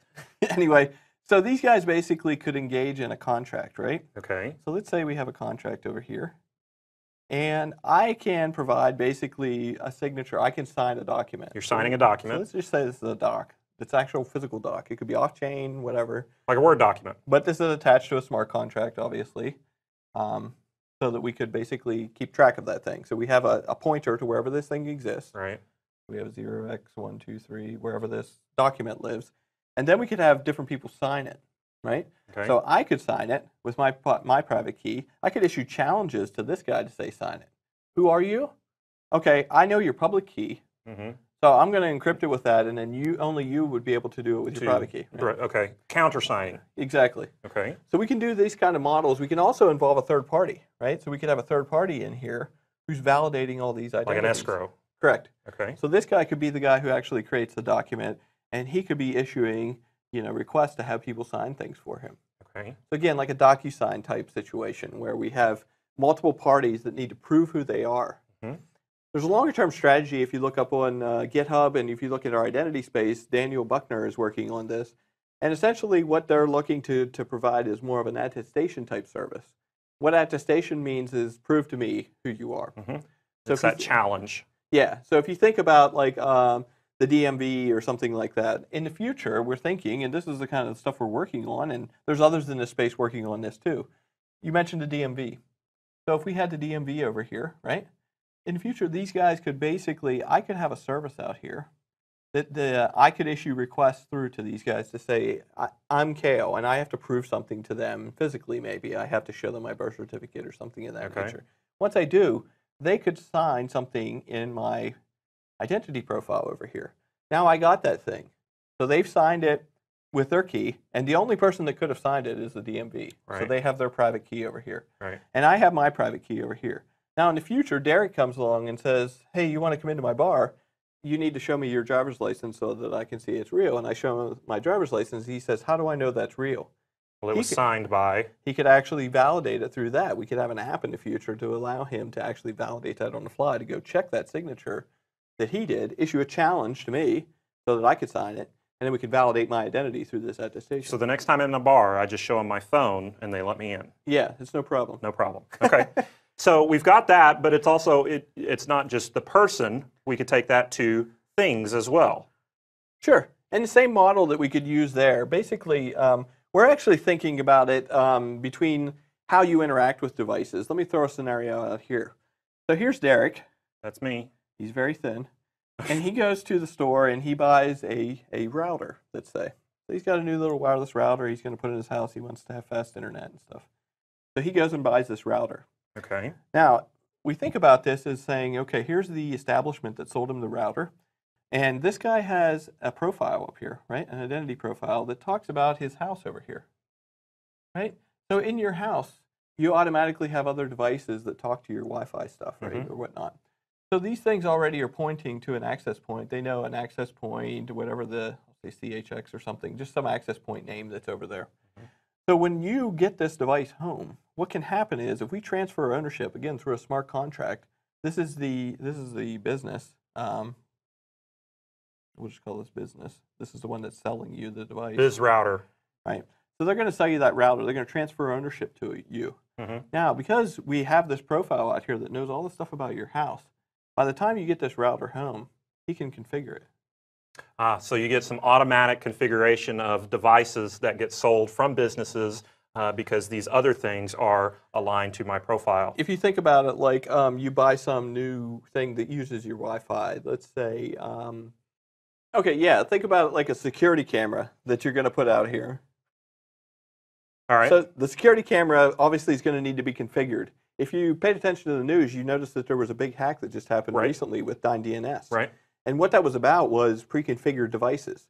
So one of the big problems with these kind of things, when you start talking about these webcams and things like that that you buy from a store, Right. is when you bring it home, you have to configure it, Right. right? And the configuration is kind of an issue for somebody who's maybe non-technical.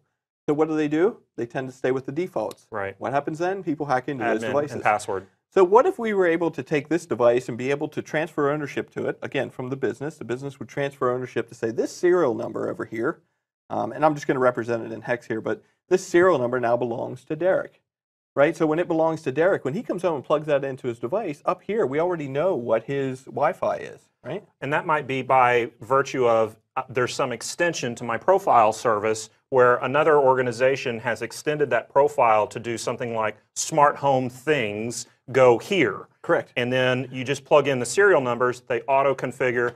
That's not at all creepy. Right. So obviously, we could basically just have this thing auto configure. The interesting thing is, what happens when Derek gets tired of this webcam and he puts it on eBay? Right. What happens if he sells his cell phone? Mhm. You know, cell phones have tons of PII data. Sure. And people are like non-technical. They don't know how to erase them. They either destroy them, then they don't want to sell them. So they're saying, "How do I make sure I get everything Sure. cleared off there?" Sure. We're thinking about that one in the future as well. The configuration for that could be stored here, such that when you transfer ownership to the to the next party, it automatically clears it because he's not you now. He has his own profile, which will then overwrite whatever the profile was. So it gets erased when that transfer happens. It's a whole brave new world. Started out by Blockstack. That's very cool. All right. Thank you very much for uh, checking out this architectural session. We'll see you next time. Thanks.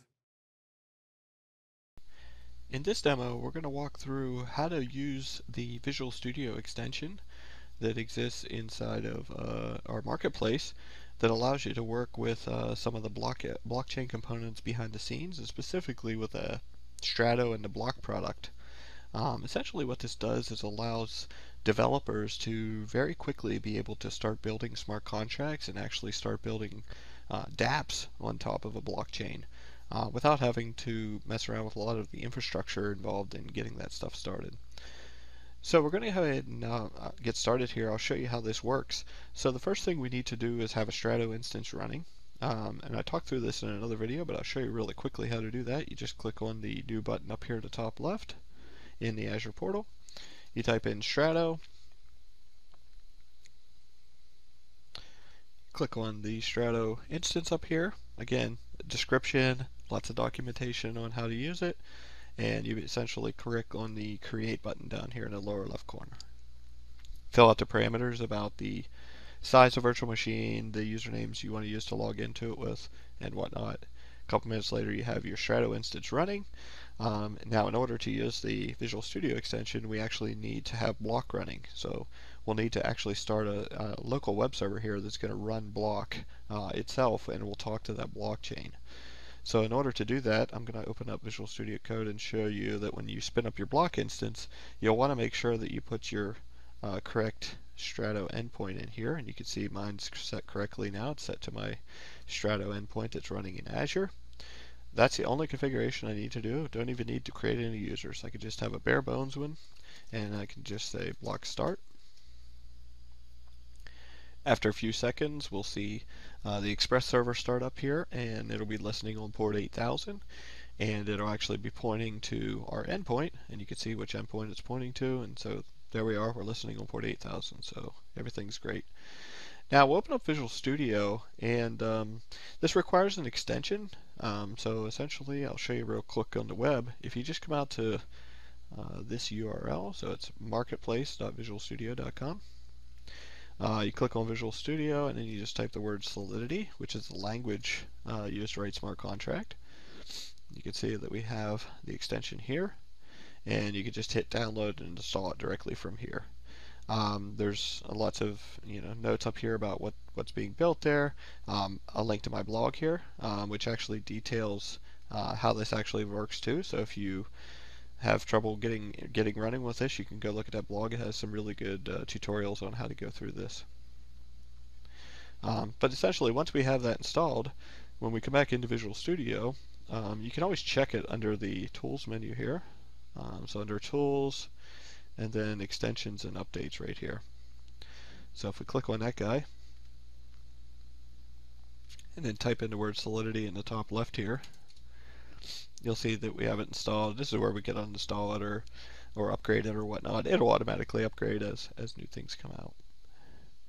And so we just click on New Project now, and you'll see that we have an actual new category in here. So we have Solidity in here. It's a first-class language. We have a couple templates in here. Um, we're just going to build a smart contract here to begin with. So we'll click on that.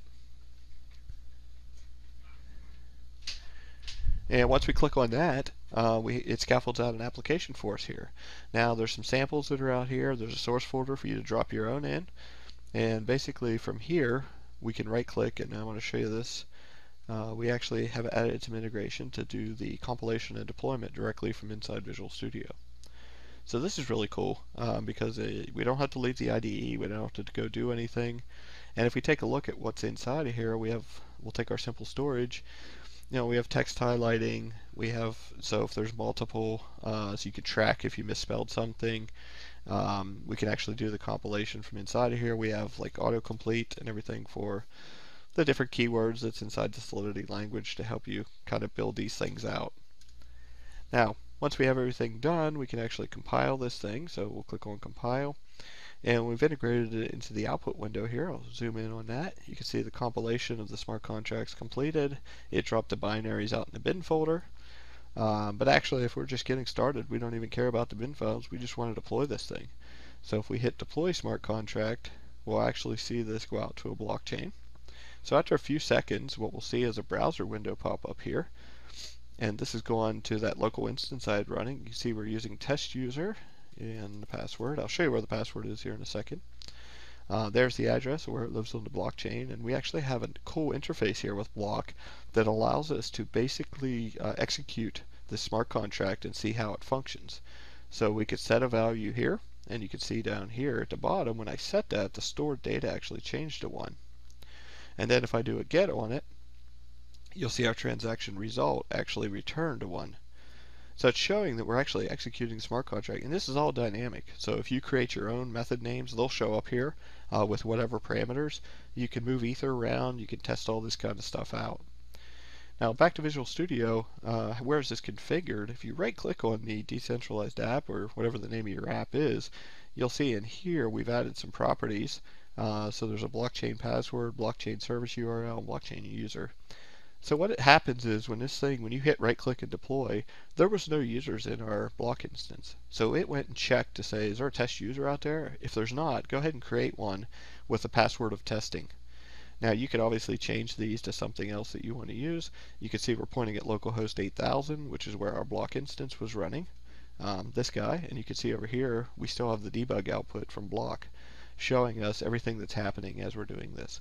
So from a developer sense, we have all the tools we need to build a, a, smart contract, actually get it up there and get it running, and actually start testing it.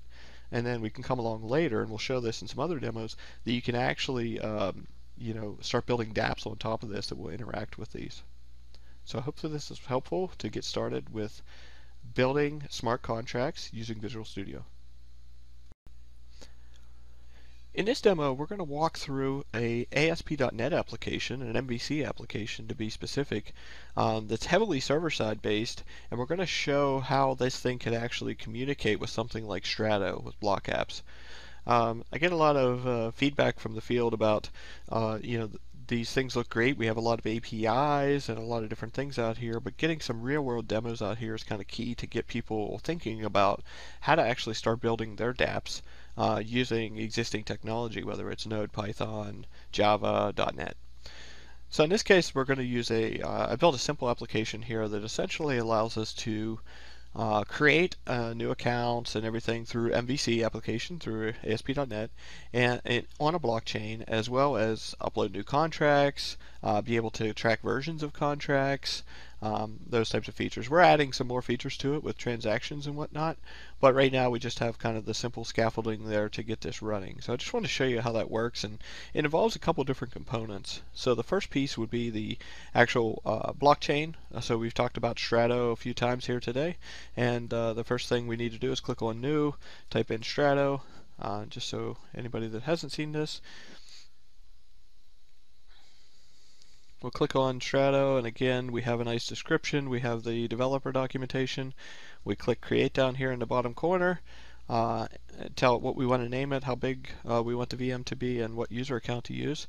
And in a few minutes we have our own Strato instance. Um, so we have Strato running. Uh, we also have a bloc instance running here. So I have my MVA demo block is running here on port 8000, pointing to my Strato instance that's running up there in Azure.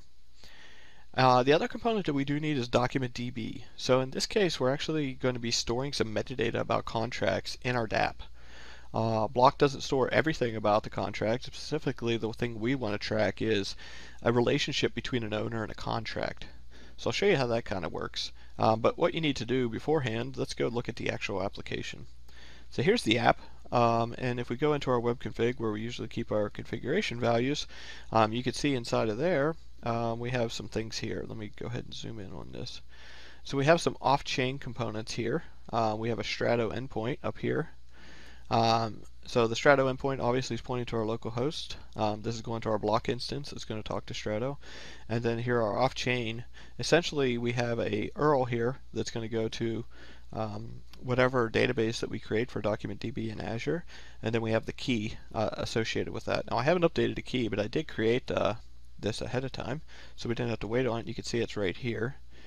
And I'll show you where you can get the keys at. So once you provision one of these, um, the next step is you just need to get the keys so we can communicate with it. So we click on keys over here. Let me show you where that was. It's right here on the, the left nav.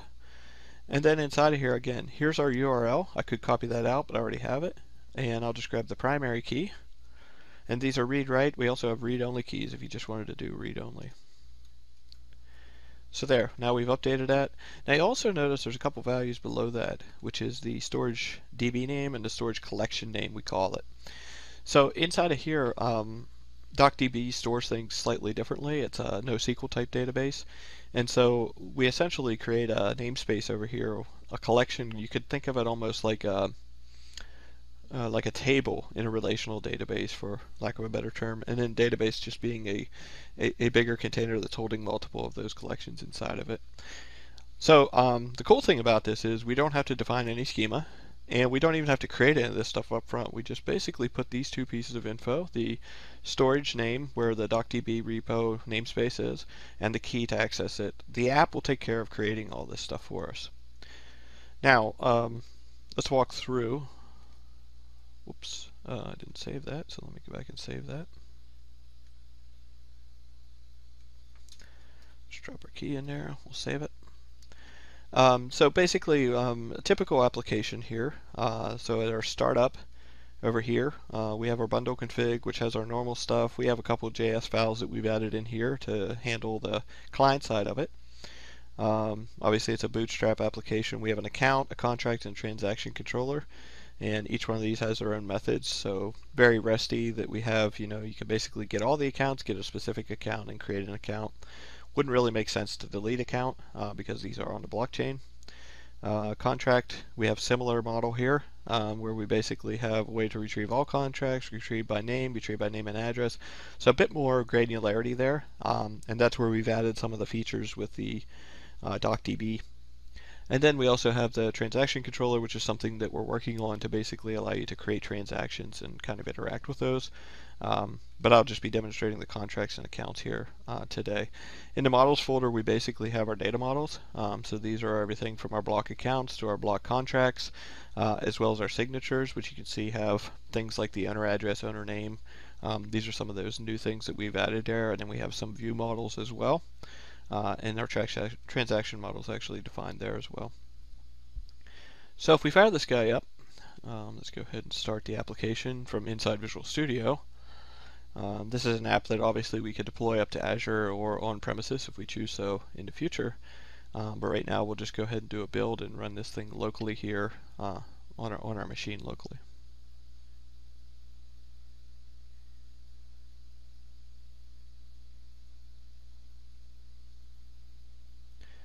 So what we should see after a few moments is um, IIS Express starts up and we get our application started up here. We'll see um, kind of a simple UI here that allows us to basically uh, do some CRUD operations on these different uh, types of components that make up the blockchain. So here we go. We have our DApp. We have some good links over here for setting up a new Bloc server. Um, you can click on these. These are all hot links. They go out to the real stuff. Here's the integrated experience with Visual Studio and then the API documentation. You can see up top here we have accounts and contracts. So if we go into accounts,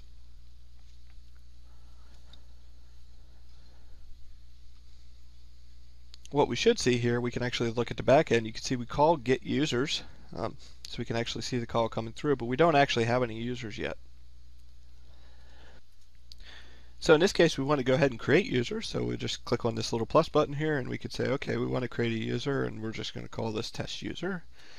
Give him a password of test and we'll go ahead and create him. Sure, we'll save the password. So now you can see that uh, the test user got created here. We have a little tile and we have an address for him. You can also pop out here and see that we actually did a post with the test user. He hit his faucet. Uh, right here was the faucet call. Remember that's going to give him some ether. Um, so we kind of have a, a cool thing there with the user, and we could add more. I mean, we could have uh, test user two, test, and they just keep adding on here, right? So you get the idea. Now, once we have some users, we can also go through the the contract section as well. So in the contracts, uh, we'll give this a second to load up here. Now, what's happening now, because it's the first time, it's actually going out to that DocDB and seeing that, hey, I have an account out here that I can use, but I haven't created anything. Remember, we didn't create anything inside our DocDB. So what's interesting is if you come out here now, I'm just popping out into Azure to that DocDB, what we should see here is we have a database that got created called SignDocDB, and we also have contracts inside of there, which is going to hold our uh, contract information now inside of here, um, we have some pretty cool tools up here to allow us to kind of uh, explore what's happening. We have this document explorer, and let me show you where I clicked on that so you're clear. It's right here. Um, if you click on that guy, basically comes up and lists out all of your databases and then the collections inside of those. So here we have contracts, and then we can basically create new ones. Up here we can upload them, we can refresh, and if there was any, they would show up right here. Now we'll see that actually fill out as we start adding some. So in here we say, hey, we got a contract here. We're just going to call this the simple storage. Uh, we'll use that as a good example here. We'll call this KL admin. Uh, actually, we need to use test user. That's our test guy. We're going to give the owner of who this guy is. And then we have to give the actual source. Now, um, what I'm going to do is just pop over to um, our Bloc instance and grab uh, one of those sample contracts. So just give me one second here, we'll grab that. So here's our simple storage. Again, same one that we used in the other demos, but we're just going to use this for demo purposes. So we paste this guy in here, hit create. Now what's actually happening here now is we did a local compilation and we signed it with our key. So basically uh, the test, remember I had to put the user in there, so test user actually used his keys to actually sign it. So here's the address of where it lives on the blockchain. and uh, you can actually see different versions. So right here's the first one. Now what's cool is if we said, okay, I want to upload the same contract. Maybe I made a change to it, you know, in the future. Um, so we fixed a bug or something in it, and we want to go ahead and re-upload it. So if I upload that, what you're going to see is this. I don't know if you can see that, but if you notice this little uh, badge here actually changed to two because it's basically saying, hey, we actually have two versions of that now um, that live on the blockchain, and this is the latest one, the CEB8CC. If you click on this, you can actually see a running list, um, and the one at the bottom is the latest one, but so this was the earlier one, this is the later one, and you can actually click on these things, um, and it'll take you out to, uh, it should open another web browser here and take you out to Bloc itself, and allow you to actually debug that thing. Um, I'm going to jump over there for a second, but that, that'll pop up another tab and allow you to actually exercise the application. Now what's cool is if you come in here too and said uh, the same contract, so simple storage again, but this time we use a different user, so we use test user 2. And we paste the exact same source in here, watch what happens. So this guy is a separate user. So it actually created another instance over here, and this guy has his own versioning going on. So you can see that that's one of the ways, and if you look out here in Doc Explorer now, if we hit refresh here, you're going to see we have some records starting to pop up here. So this is the identifier for the first one, which basically is keeping track of those two contracts and saying, hey, they actually go with this owner and his name is test user. And then if you look at the second one, you see he only has one instance right now, and it's actually pointing to this owner, which is test user 2. So just a simple way to start leveraging some of the uh, off-chain components. Um, and something to keep in mind is that the off-chain components and the stuff we're keeping here is simply addresses. So it's simply addresses. We have an owner name and a contract name. Other than that, that's all we have off-chain. Um, so we haven't encrypted anything because there was no need. Um, whether these addresses are already available on the blockchain, you could go get that information freely um, if it was on a public blockchain. If we wanted, if we chose so, we could use our keys to actually encrypt this data as well. So it's a kind of a cool case where we can pull things off chain and be able to use those uh, to, to basically scale the system a little bit better and uh, just have anchors that exist on the chain. Um, just using that term to kind of say, hey, we have our accounts and we have an actual contract as an anchor, but we have a bunch of other metadata that maybe doesn't need to be in the smart contract and we can kind of keep that off chain. So I hope this just gave you a, a, a little bit of a taste for what we can do. Um, as I mentioned, we're going to continue to expand on this example and, and allow you to create transactions and all those types of things that go along with that on top of this. But I hope this was a good start for you on DApp and uh, as well as some off-chain components.